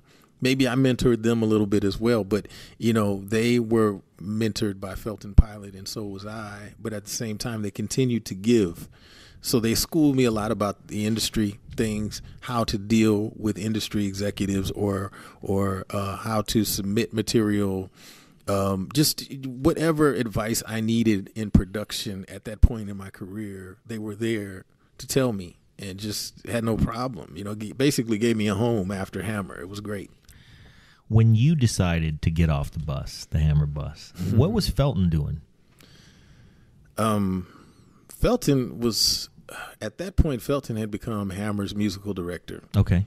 and then uh, he went from the, using DJs on stage to actually a full band, Having a band, right. a full band. It was huge. It was, uh, yeah, like seven keyboard players and you Yep, know, yep. a drummer and a Yeah, Melvin Car- and, Carter you know, was on that in that band. Yeah, Uh, Rich Aguan was in that band. Yeah, Uh, Juan yeah. Escovedo, Billy Shoes Johnson. all the great guys. Uh, yeah. Sandra Manning played keys in Yeah, that band. right. Um, Dave Agent played bass in that band. Paisley. Yeah, Paisley was. That's right, yes, man. Yes, and so many others, man. Some really great guys, George Williams and Michael Buckles, and a lot of talented musicians. Um, Ken Franklin, Ken and- Franklin, yeah. and uh, just a lot of great guys. And so, and also Tyrone Duncan was uh, Hammer's drummer for many years, and uh, we called him T Super, but phenomenal drummer. And uh, you know, it was just a great bunch of guys. But Felton basically was overseeing that Right. and um, having his own issues uh, on a business level with Hammer's label and whatnot. And I think even he was gr- kind of growing tired of certain things. So he continued to do that for a time, and then eventually he left as well. So that's that's pretty much what happened there. But Felton kind of just went another way, and then. Around that time, I think he was considering, or maybe the guys from Con Funk Shun were considering, Considering getting, a reunion. getting back together, which they did. yeah, boy was Vallejo waiting for that. Oh, every I think the world was. Yeah. We all were, yeah, for sure. And uh, just to give a shout out in that direction, boy, Con Funk Shun is sounding great nowadays. They always have, though. But you're right. I think they may sound better today than they ever did. Well, I think that's true. I mean, they managed to um, inject uh, youth into the old funky sounds because a lot of those bands that came from the '70s, you know, they just maintained a specific sound, and and that's great. Like the Gap Band, you go see the Gap Band, yeah, they sound great. They sound like the Gap Band, but Con Funk Shun, they sound young and energized. And Michael Cooper is, you know, he looks like he could bench press everything that's on the stage. And so they're uh, they're sounding great still. Yeah, And Michael, Coop, still Michael Cooper. up the trombone. Michael Cooper is definitely not one to run up on if you think that you're going to try to have your way with him. He's a a very strong uh, gentleman and a uh, a sheriff. So uh, he's not he's not someone that you just He's not a pushover. No, not at all. He's uh, currently and uh, always has been. He's not just new to law enforcement. He's been a police officer Yeah. for probably 40 years. And so he's, you know, th- they're great, talented guys. You know, Cooper, in addition to those things, he's probably one of the best guitar players I've ever heard. Man. He really is. You know, Oh, just terrific. phenomenal musician. He too is a drummer, Michael Cooper. Uh huh. And I wouldn't uh, put it past anybody in that band to play anything. Yeah. I mean, that's just the level of talent you have to expect from everybody. And maybe Yeah. everybody doesn't play everything, but you can't, you, you don't get caught unaware. Yeah, but great guys. You're right. Their show is incredible. Their man. show is They- incredible. Uh, it's always worth it for you to spend your money at a Con Funk Shun show. That's Uh, true. That's all I can say. That's true. Eric Young on the bass. A little Oh, shout out to. Eric Young. Brian Collier on the drums. That's a bad drummer. Yeah. Man, he's bad. Oh yeah, he's ridiculous. Uh, EQ, yeah, EQ. I'm a bass player, and I look at that guy playing. I go, "Wow, Yeah. listen to that." You He's know, something. and plus EQ's such a great. What guy. an entertainer, too. Oh yeah, that's that's his true acts, I believe. Uh-huh. He's a phenomenal bassist. He really is a funky dude. Yeah. But I think the thing that really makes him stand out is he's an entertainer. Yep. Uh, in a way that we don't get anymore. You know, this guy is constantly moving, and if he could do the splits on the stage, I'm sure he would. He takes you know. a bass solo, uh, and this is for our listeners and some, some somewhat for Pete. EQ takes a bass solo, and it might be a five minute bass solo. Yeah. And he might play bass for two minutes of it. Yeah. Because he'll start out and he'll do something ridiculous on the bass, and while Yeah. your mouth is agape, he'll do something else to make you start laughing and really draw in the crowd. And he's such an entertainer that what an asset. Yeah. And that band's got assets in every direction. Yes, they do. Everybody's good. Everybody's phenomenal. Yeah. Yeah. What a great band. Yeah. So Felton, he's really, I'm happy for him. I'm loving to see him in his element again. Uh-huh.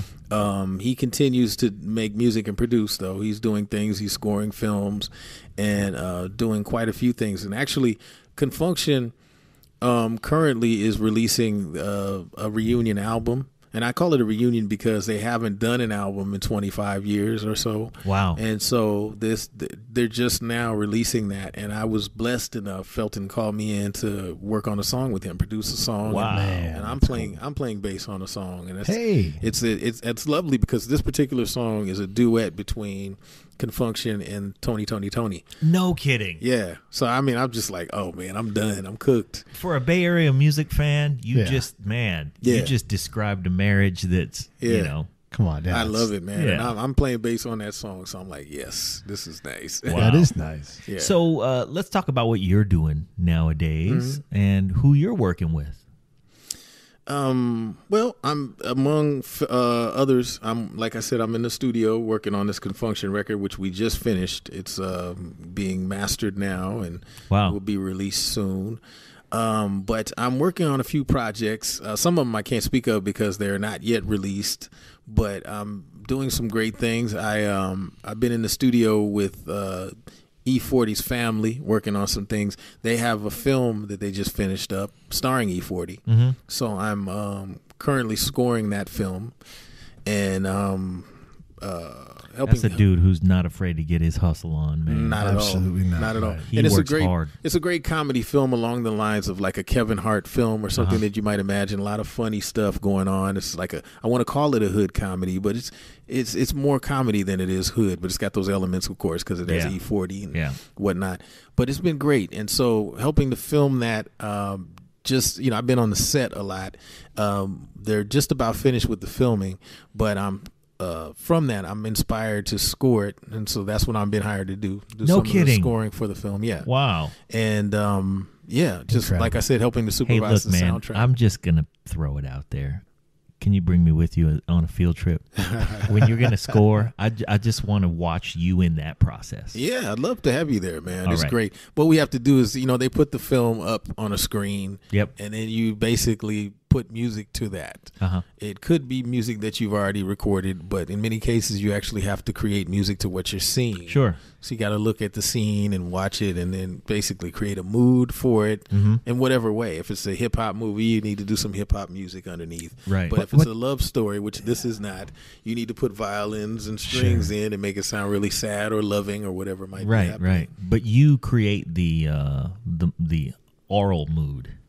Yeah. or enhance uh, the visual with the aural mood. Yeah, Yeah. what guides you more? Is it, is it like the dialogue, or is it the images that are that are on the film? Like, what what do you feel more, or is it? A, it's obviously probably a mix. It's but- all of the above, yeah. You Yeah. you look at it and you go, well, you know what? If you don't have anything, and see, that's just it. There might be a scene that needs silence though, too, Sure. because you can actually do music that gets in the way. But sometimes you don't know that until you try it first. Yep. You try some stuff, you look at what's going on, and as, as long as your edit is good, then you you make the appropriate music for that scene.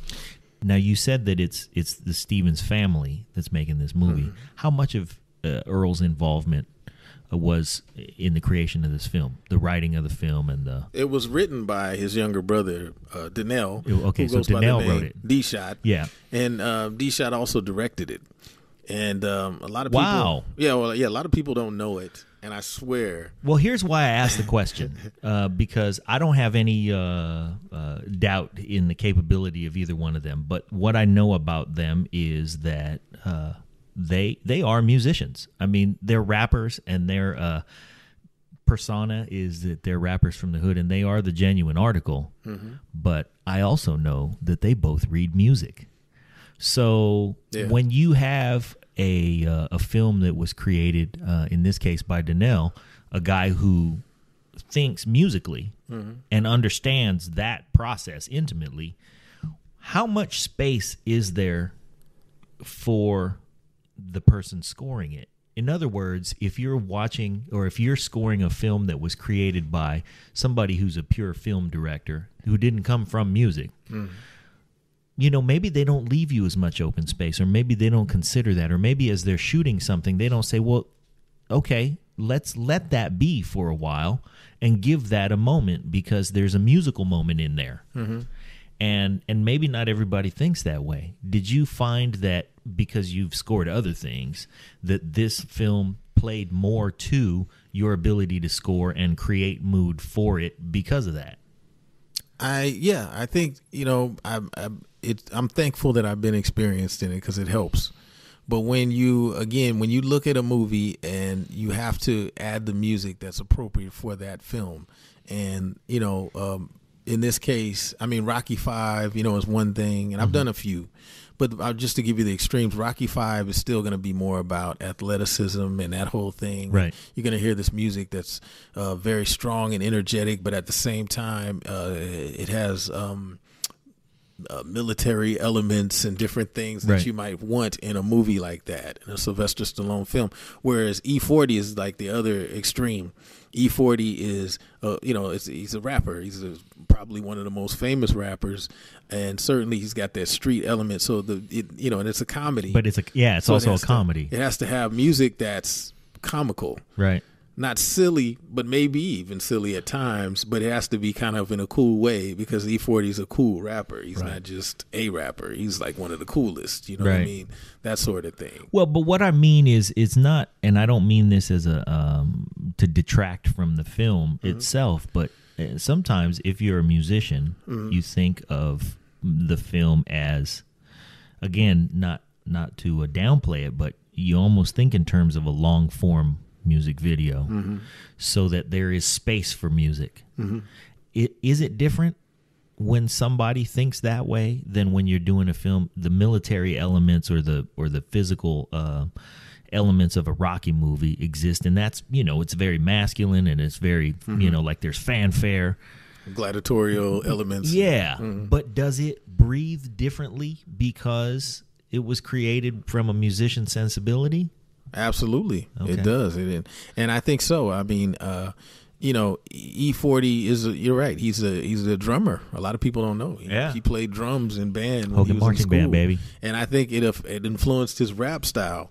And then then his um his father is a phenomenal blues guitarist. Uh-huh. A lot of people don't know that. Earl Stevens Senior. Yep. And then his baby sister, uh, Sugar T, she is a rapper and very well known for that, but she's also a singer. And Yeah. She has a great voice. And so, yeah, I mean, you know, you have to really kind of keep that in mind when you present them things anyway. Yep. So if I'm working on their movie, yeah, I got to make sure I'm dotting my I's and crossing my T's. They're going to be on that. yep And you know, but let me let me just talk about this for a second. You know, uh, D Shot is very well known for being a rapper himself. Yep. And he's part of the crew, um, the Click family, and all of that. But a lot of people don't know that he's a fantastic writer, and he is. But also, he's a great filmmaker and self taught. And you know, I've known D Shot since he was a kid, and he was like, uh, he was he was not, he was rough when he was a young guy. Yeah. And I know a lot of rough guys, but he was certainly one of the rougher. Never with me. He always enjoyed me. We were great. We got along great. But Right. other people that he didn't know, you that didn't wanna wasn't step close to, his toe. You didn't want to step on his toe and not say, "Excuse me," it would be bad, you know. But he actually matured in a way that I'm really proud of him. He went on to really self-educate himself. He actually went to film school, and he learned how. Mm-hmm. I didn't to, know that. Yeah, he put himself into a film school in, in uh, I think UCLA or something. Wow. Or USC. Yeah, USC, that's- I'm He went to USC. There's film not a problem school. with that film He- school at all. He put himself into a class. They've done and- well. Yeah. Yeah, and then he put himself in there, man, and then came out and actually started to apply that to his filmmaking, and he knows a lot, a lot more than most people think. He did a phenomenal job directing. If this he went film. to either USC or UCLA's film school, that's Yeah. good enough. Yeah. Do you know that the U just as a sidebar, the USC Film School has had a participant in the um, category of uh, best picture Mm. for the last something like 82 years. Mm-hmm. There's been at least one USC graduate whose film was nominated for best picture every single year. And if he went to UCLA, guest lecturer Brad Pitt. Right. It's uh, Professor James Franco. Yeah. You know? yeah, wow, Just they don't mess around, man. Either school, top, top, top Yeah. notch. Yeah. But you know, it's it's great, man. Some of these guys, man, you never know. But the I bar, was unaware that he had done that for himself, but you know, it's not surprising. It's well, I think I think what he knows, what Danell knows, and what uh, E-40 knows, and many many others, even Hammer and so many others. You know, the bar is high in the industry, and you have if you're smart, you will continue to self educate and make yourself better, so that you can re- reinvent. Uh, Madonna has been phenomenal at that reinvention, so that she could just carry on a career that long. I mean, she's. a fantastic, and she. Speaking of musicians, she's a musician. Sure. I don't know if you. A lot of people don't know she played drums as well Mm-hmm. back in the day. She was she was a drummer in a band before she went solo and came out. So, you know, it's it the, the bar is high. We have to continue to innovate and reinvent, and uh, that's the best thing. I you know I do want to talk about that. I think my my best advice to people that are uh, up and coming is to uh, self educate and also try to come up with a new way to do things. Think about how the industry is going to be five years from now, ten years from now. You know what I mean? Don't just be in the moment of today. Okay, let me let me do what everybody else is doing right now. You have to think about what people are going to do later, because five years is going to happen. And ten years is going to happen, and when it does, are you going to be behind, or are you going to be ahead of everyone else? You know, so I think it's important to do. So again, you know, benefiting from mentoring and learning to listen and all of these things has certainly helped me. And I just hope that uh, everybody else will will take heed and, and pay attention to that. You know, um, you know, uh, just just know that you have to be um, a leader and not just take a back seat in what you're doing. That, you that's know. a great segue into the question I've been trying to ask all night because I love this. Hmm. So, okay, U2 just came out, put their album out, $100, $100 million guaranteed from Apple to The- the distribute. band U2. Yeah, the band U2. Put Good. this new album out. And that to me is, a, is an innovative way to get their music back out to people. They haven't put an album out in five years. Mm-hmm. And uh, all these young kids, you know, five years, shoot, if you were seven years old, you know, you're 12 now, maybe you're buying your first album and you've never heard of U2. Mm. So um, I think it's a genius way to get your album in front of well 500 million people. You know, uh, potentially Every iTunes user. every iTunes user, right? And then they're still going to release the album next month. You know, on, on a regular kind of traditional media. What's out there? What, first off, what do you think of that? And also, whichever one you want to comment on, what's out there for the younger artists you know, who aren't U2, who can't command $100 million up front? It's hard to make $100 million on an album, you know? Yeah.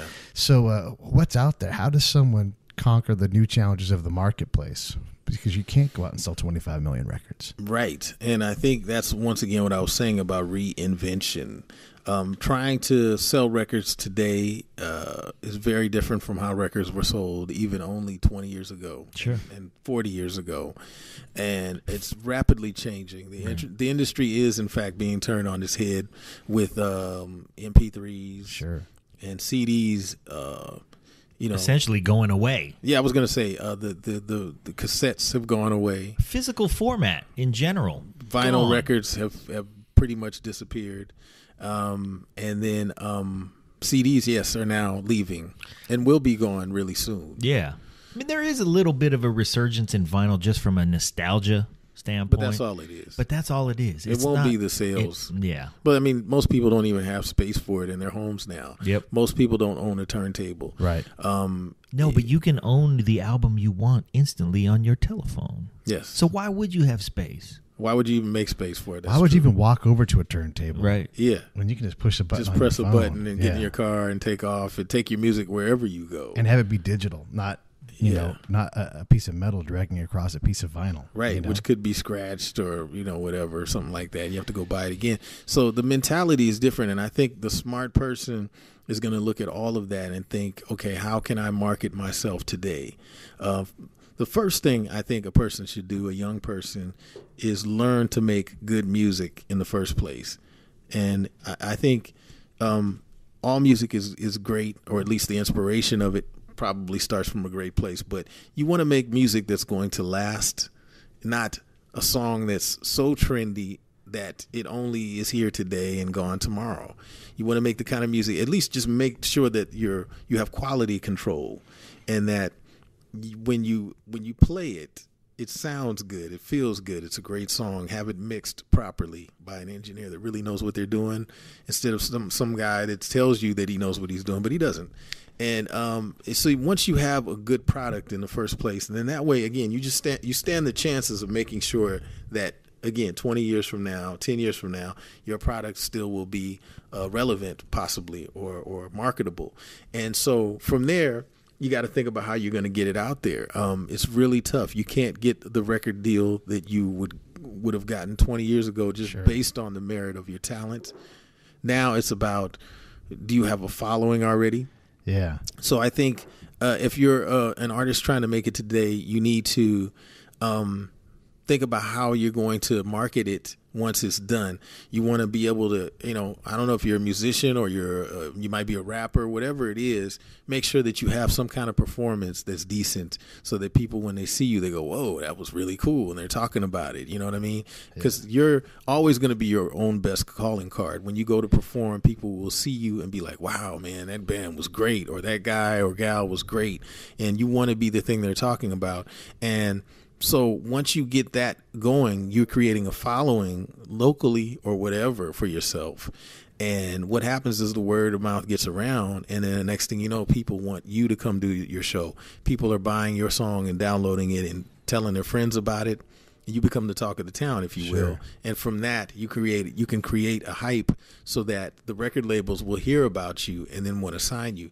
They probably won't just sign you if you knock on their door. Once upon a time, you used to be able to knock on the door of a record label and somebody would come outside or they would invite you in because you were just it was Right. like no big deal the world was differently they would have you in the office and you said you had a good song and you might not even have a record or whatever a recording of it you might just have an acoustic guitar they would allow you to sit You walked in with a guitar on your back. on your back and you played it for them and they liked to hear or if you had a tape And it a was demo tape, it was usually a horrible recording but Right. then there was somebody that would listen and go you know what I, I know that's horrible but we'll record you and we'll make it right I can hear what's in there. I can hear it. Yeah. You know what I mean? I'm liking you, and uh, but today you better have a product, like I said, that's good, and not even just the recording, but have a performance that's good too, because they're gonna want to see it. So the industry has changed. The way that we receive music has changed. The way that consumers spend money uh, on an entertainer has changed. But what has not changed is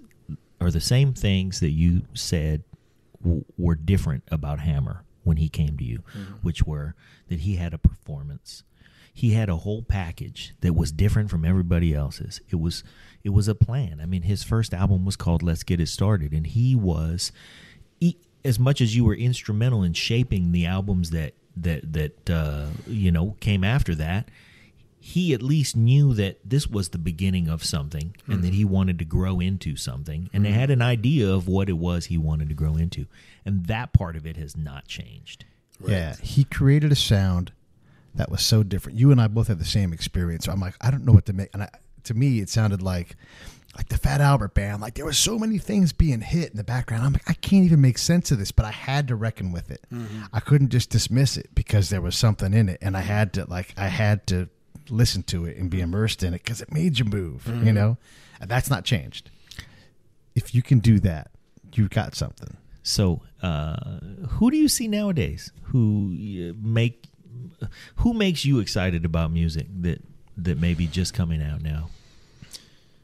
probably my favorite artist currently and there's there's a few really really talented individuals i'm not gonna lie there's a lot that come out now and i'm like whoa i like that Well, there's Uh, so much you have to sift through. all colors of the rainbow. I Yeah. think there's so many people that are talented in so many genres, but sadly, we have so much to sift through. Right. There's there's almost too much. Before the industry was somewhat it policed itself. Right. And there was a floodgate basically that was being monitored so that not too much would come through at a time. You know what I mean? Well, it's And so funny. it was the flip side of you could knock on the door of a record label was Mm-hmm. that they would get talent and develop it, and you couldn't just have a record. Nowadays, you if you want to make a record, you can just make one. You could just make one at home and get it out there. That's yeah, true. and so now eh, just about anybody could have a record, but, but but you're lacking the mentoring. right, Right. Thirty la- years ago, if you wanted Yeah. to get a record, there was a process. And you're right, and that you're lacking the mentoring, and you're also lacking the A and R process. Uh-huh. Right. Uh, Motown had a phenomenal A and R process Right. where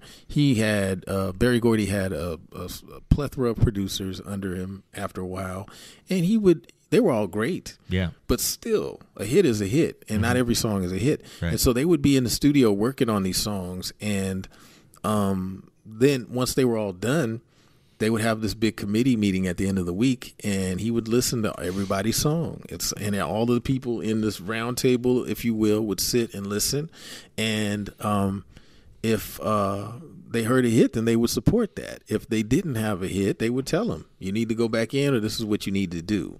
And so we're lacking that today. There's the just, power of no. yeah. You so need, some people get need to get told no sometimes. Sometimes, yeah, or go back and fix it. You know, this is okay, but you know you can make it better. And so, what what we have today, uh, to answer your question, there's so many artists, um, and not everybody, in my opinion, is good. But there are a lot of talented uh, individuals out there. But one of the ones that really sticks out for me, and I and he's I, I call him new because he's newish but he's only been around for a few years, even though he's been trying to get into the industry now for 15 years or more. But it would be Bruno Mars. I think he is my favorite, and the reason why I say it is because he's true to the art. He respects the music. He's he's certainly of the new generation, this whole new vibe of music. He gets all of that, and he is that. Yep. But at the same time, he respects the old, and he, He brings does. just enough of that into what he's doing that he makes it cool. But at the same time, I think people our age and older really respect him as well. Um, Bruno Mars is a multi instrumentalist, and he's a, a fantastic singer, and he's an enter- entertainer. Uh, he gets on stage, he'll just pick up the microphone and wow you just with what he's singing. But then he might put the mic down or on the stand and then start stepping. He's doing choreography and all of these things. So for me, he's probably my favorite artist, and that's really who I'm paying attention to. And I've seen him on stage, and you know his father uh, is uh, an amazing percussionist, and he passed that down to Bruno, who is a fantastic drummer, and his brother. And- his brother plays drums in his band. his brother is his drummer, and his brother is a more than fantastic drummer. Yeah, his he's a brother monster. Is a monster. He's really probably one of the best drummers in the game today. Yep. I will call him that. He, I mean, I I saw Bruno live a few times, and I noticed the drummer looked like And him. he's no joke on the drums himself, Bruno Mars. Well, I was saying, yeah, he's a, he's a drummer and Yeah. he he's a pianist and he plays guitar and bass as well. I mean, he he's probably he probably doesn't remember a time when he wasn't in front of a large crowd entertaining. Like, Right, it- all his it life. Really? so early. all his life. Yeah, he was pretty much molded for it. So I, you know, just being a fan of Prince, I think I really like someone that's all around. And so for me, he's someone that stands out. I, I can't.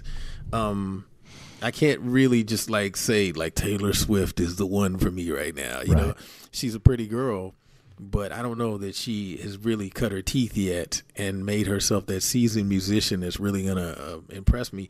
But even though I impress her, I'm impressed by her success. I really am, and I pay attention to that. I mean, I'm not gonna lie. I, my daughter took me to a um, Little Wayne concert, and I was blown away by how much they love him. You know, Little Wayne didn't blow me away, but the kids in the audience blew me away by how much they loved. I mean, they knew every one of the lyrics. The entire audience, the whole audience, was singing all of the Every verses lyric. to his songs and the choruses, just like from beginning to end. They they knew every lyric. I don't mm. even see that in, in like a Michael Jackson show. People sing along, but sometimes they stop. Right. in this show, yeah, I'm not. I- You know what? They Not coming up with the it. second verse to "Man in the Mirror." Yeah, me neither. I'm not doing it. I might be what I mean? crying by then. Yeah. I'm crying. Speaking to me. So yeah, I'm- I'm just looking for that in the, these new artists. I'm looking to see what they're gonna do. But uh, yeah, my favorite would have to be Bruno Mars. So, Okay. I'm gonna have to give Bruno Mars a, a second look because he doesn't move me, but uh, but I, I respect that, and I, especially your opinion matters to me too. And people like Taylor Swift are clearly talented, but for me, she's she's stuck in the pop era. You Yeah, know, yeah. singing about boyfriends, singing about who she's mad at, and, and I need her to do something else to move me. And I don't know what that thing is, but Well, as she matures, she'll right, figure that's out what I need. that I need some is. maturity And, probably you in, know, in her craft. Yeah. And, and, and it's I'm not rooting my for her. Yeah. Well, I know. guess you know what. Let me just say, and I'm not, I don't want to turn into an uh, like I'm defending uh, Bruno, but let me just say on that note, I think I'm also impressed at his behind the scenes work. Uh-huh. Like he, a lot of people don't know that he co-wrote um, um, the "Forget Me" song or "Forget You" song by CeeLo. Yeah, by CeeLo, He yeah. co-wrote that. Okay. and um, he also co-wrote. Um, He co-wrote a lot of things over the last four or five years. Yeah. he's been the co-writer on a, an a awful lot, lot, of, stuff, yeah. Like uh, the the "You Spin Me Round" song by Right. um, Flo, Flo Rida. He co-wrote that, and you know, just a ton of hits. You're right. He's either written all of it or part of a lot of hits behind the scenes. So I, I Well, before that. he broke as a solo artist, he may that was his living. You know, he was just writing for other people and, and a doing lot of well. people. Missy Elliott came up like that. Um, and then Lady Gaga as well. She was a, s- songwriter for a lot of people behind the scenes. She would write the songs and she would demo it, but you know, it would not be put out. And um, um, A- Avon, um, Akon, I should say, uh, knew about her, and I think he signed her as a writer, and eventually he agreed to put her out as an artist because of that. She couldn't get arrested by the labels, and Akon took a chance on her. Well, he did pretty well. He did Yeah. fantastically Yeah. between uh, T Pain and her. Sure. Yeah, great That- success. What you're talking about too, that collaboration, that seems to be more of the modern way of of getting through that A and R process. Mm-hmm. You bring your social network in and you collide it with whoever, you know, Pharrell's, and that expands your music into that circle. Mm-hmm. And then you go do it again with somebody else and somebody else, and you can mix genres. It's fine. Yes, You know, yes. uh, Eminem will work with anybody who's got talent. You know, Yeah. he doesn't care, and uh, and then you get a boost from that, and Mm-hmm. that seems to be kind of, from my angle, that seems to be how the young artist has to try to do it. Is is to understand how to create a crowd, get Mm-hmm. beyond your family, and people still like your music. Then then you probably have a shot. you know? There is an availability that there didn't used to be because I know that. Um, well, you James had listened to everybody. I can throw out a name from you know any genre, and your familiarity um, is always there. A- And that's the fun of music, but a lot of people didn't get that. I mean, back in in uh, the '60s and '70s, sure, you had a lot of songwriting teams, but you know, uh, you didn't see Ashford and Simpson and uh, Burt Bacharach and Hal David writing together. Right. You know, there were there were labels and genres. They had their stables and and they stuck to their own and they worked within their own circle. But you didn't mm-hmm. see a collaboration but, that went across genre. Or if Eddie Van Halen's on Beat It, it's Beat It featuring Eddie Van Halen. Like he's He yeah, he wasn't invited into the room to collaborate on the album. Right. It was just. Eh, come do this. Hey, this is Quincy. Will you come down because we need this, and you nobody does it better than you. They hang up the phone. right. There'll be a limo outside your house in about 15 Right. minutes. We Right. need you to come out now and play this part. Yeah, I mean, it's just a very different game today. But, uh, you know, um, you know, I think you're right. Collaboration is great. I like to just go back to artists. I think, um, and I call him an artist, but he's a producer, phenomenal. Uh, Pharrell Williams, I think, impresses me a lot. Yeah. Man. Uh, his uh, catalog uh, of songs is really, really vast. Have you watched point. his show on the internet? No, I haven't. Oh, Oh, his to. show is terrific. man. Really? It's called So Artist good. Talk. You- Really? You, know, as a producer and everything, you need to watch the one between him and Daniel Lanois Mm. and how they both come at things totally different. And Mm. yet they're both nod their head going, Yeah, I need some of that. Like they like are feeding off each other and it's just fantastic. Yeah. It really is. It's excellent. Wow, I, I want to check it out. What uh, network? Uh, not that we're trying to do a commercial for that, but what network? Well, we, we'll talk about that off the air because Yeah. our listeners can Google that. But um, so uh, we've been uh, we've been at it for well over an hour, Yeah, that's true. and and I really don't know what there's. I can't think of anything I want to edit out. so here's what I would like to do. I would like to close on that note. Uh, oh, actually, I have one more question, then we'll close on that. But um, but uh, can we do a part two of this? Man, please. Oh man, anytime. You know, anytime. You guys are family, so we're gonna uh, we're gonna hold you to that, and I really appreciate uh, you being our inaugural guest, man. No, and no, killing it. I And love killing it. it, The bar is way high. killing it. No, I love it. I love it. You guys are a great show, and uh, you've always had a great show. But I think this uh, new page, this new chapter, is fantastic. Yeah. Okay. So here's the final question. Uh, given the cross genre possibilities, if there was a guy that you could work with uh, on a song in a completely different genre than you have come up in, which is really a lot of you know anything between hip hop and funk and R and B, but if you could reach across. Uh, Whatever imaginary aisle exists, and grab somebody else and say, "Hey, let's do something together." Who would it be? You know, it's funny. A question like that, I could give you twenty or fifty names, but probably How about just a couple of uh, the ones that come to your head? Honestly, I'm really. Uh, it, it would first be Sting.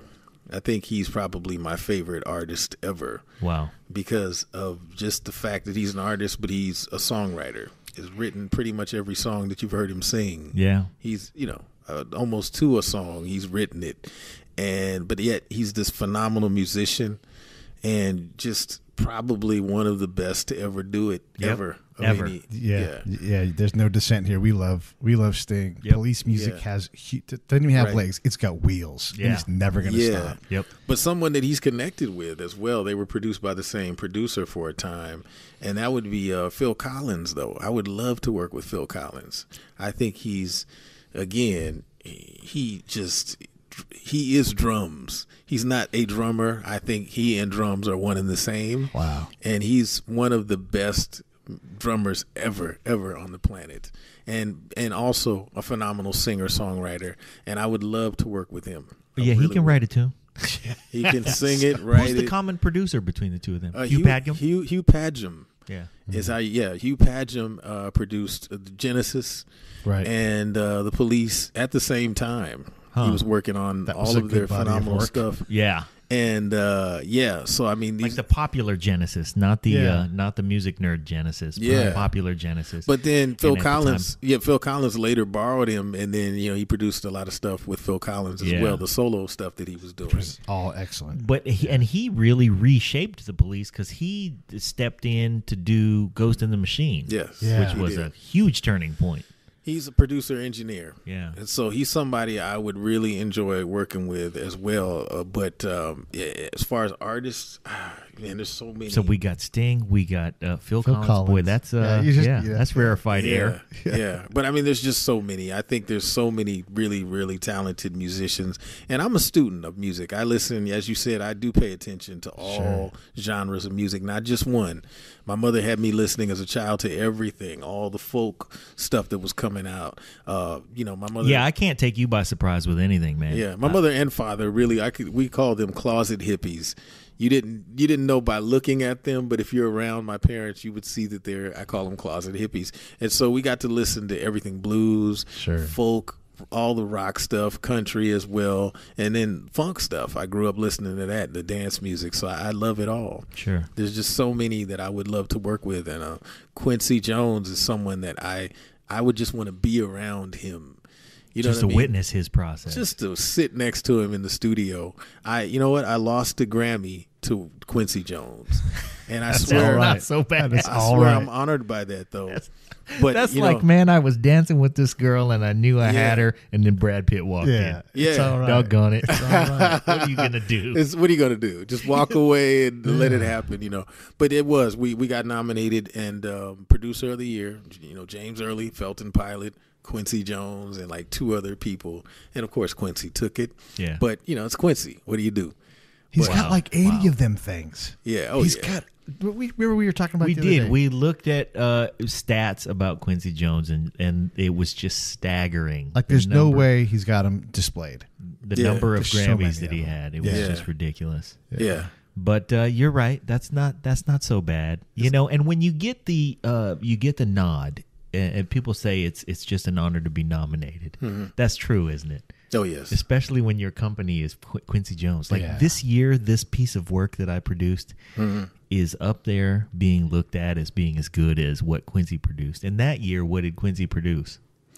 Uh, I think it was his um, Secret Garden album. Okay, That's what it was. you lost a Yeah. Grammy to Quincy. Jones. Yeah, yeah, Yeah. I mean, it's nice to be nominated, but of course, my music. You know, Hammer has won a lot of Grammys with my music. Yeah, So in yeah. that way, I'm a Grammy winner anyway. So it's, Right. I'm okay with that. Yeah. a lot of awards actually uh, Yeah. have been won, but I mean, it's great, and I'm uh, I continue to be a student of this industry. So that's the reason why I would love to just be with so many.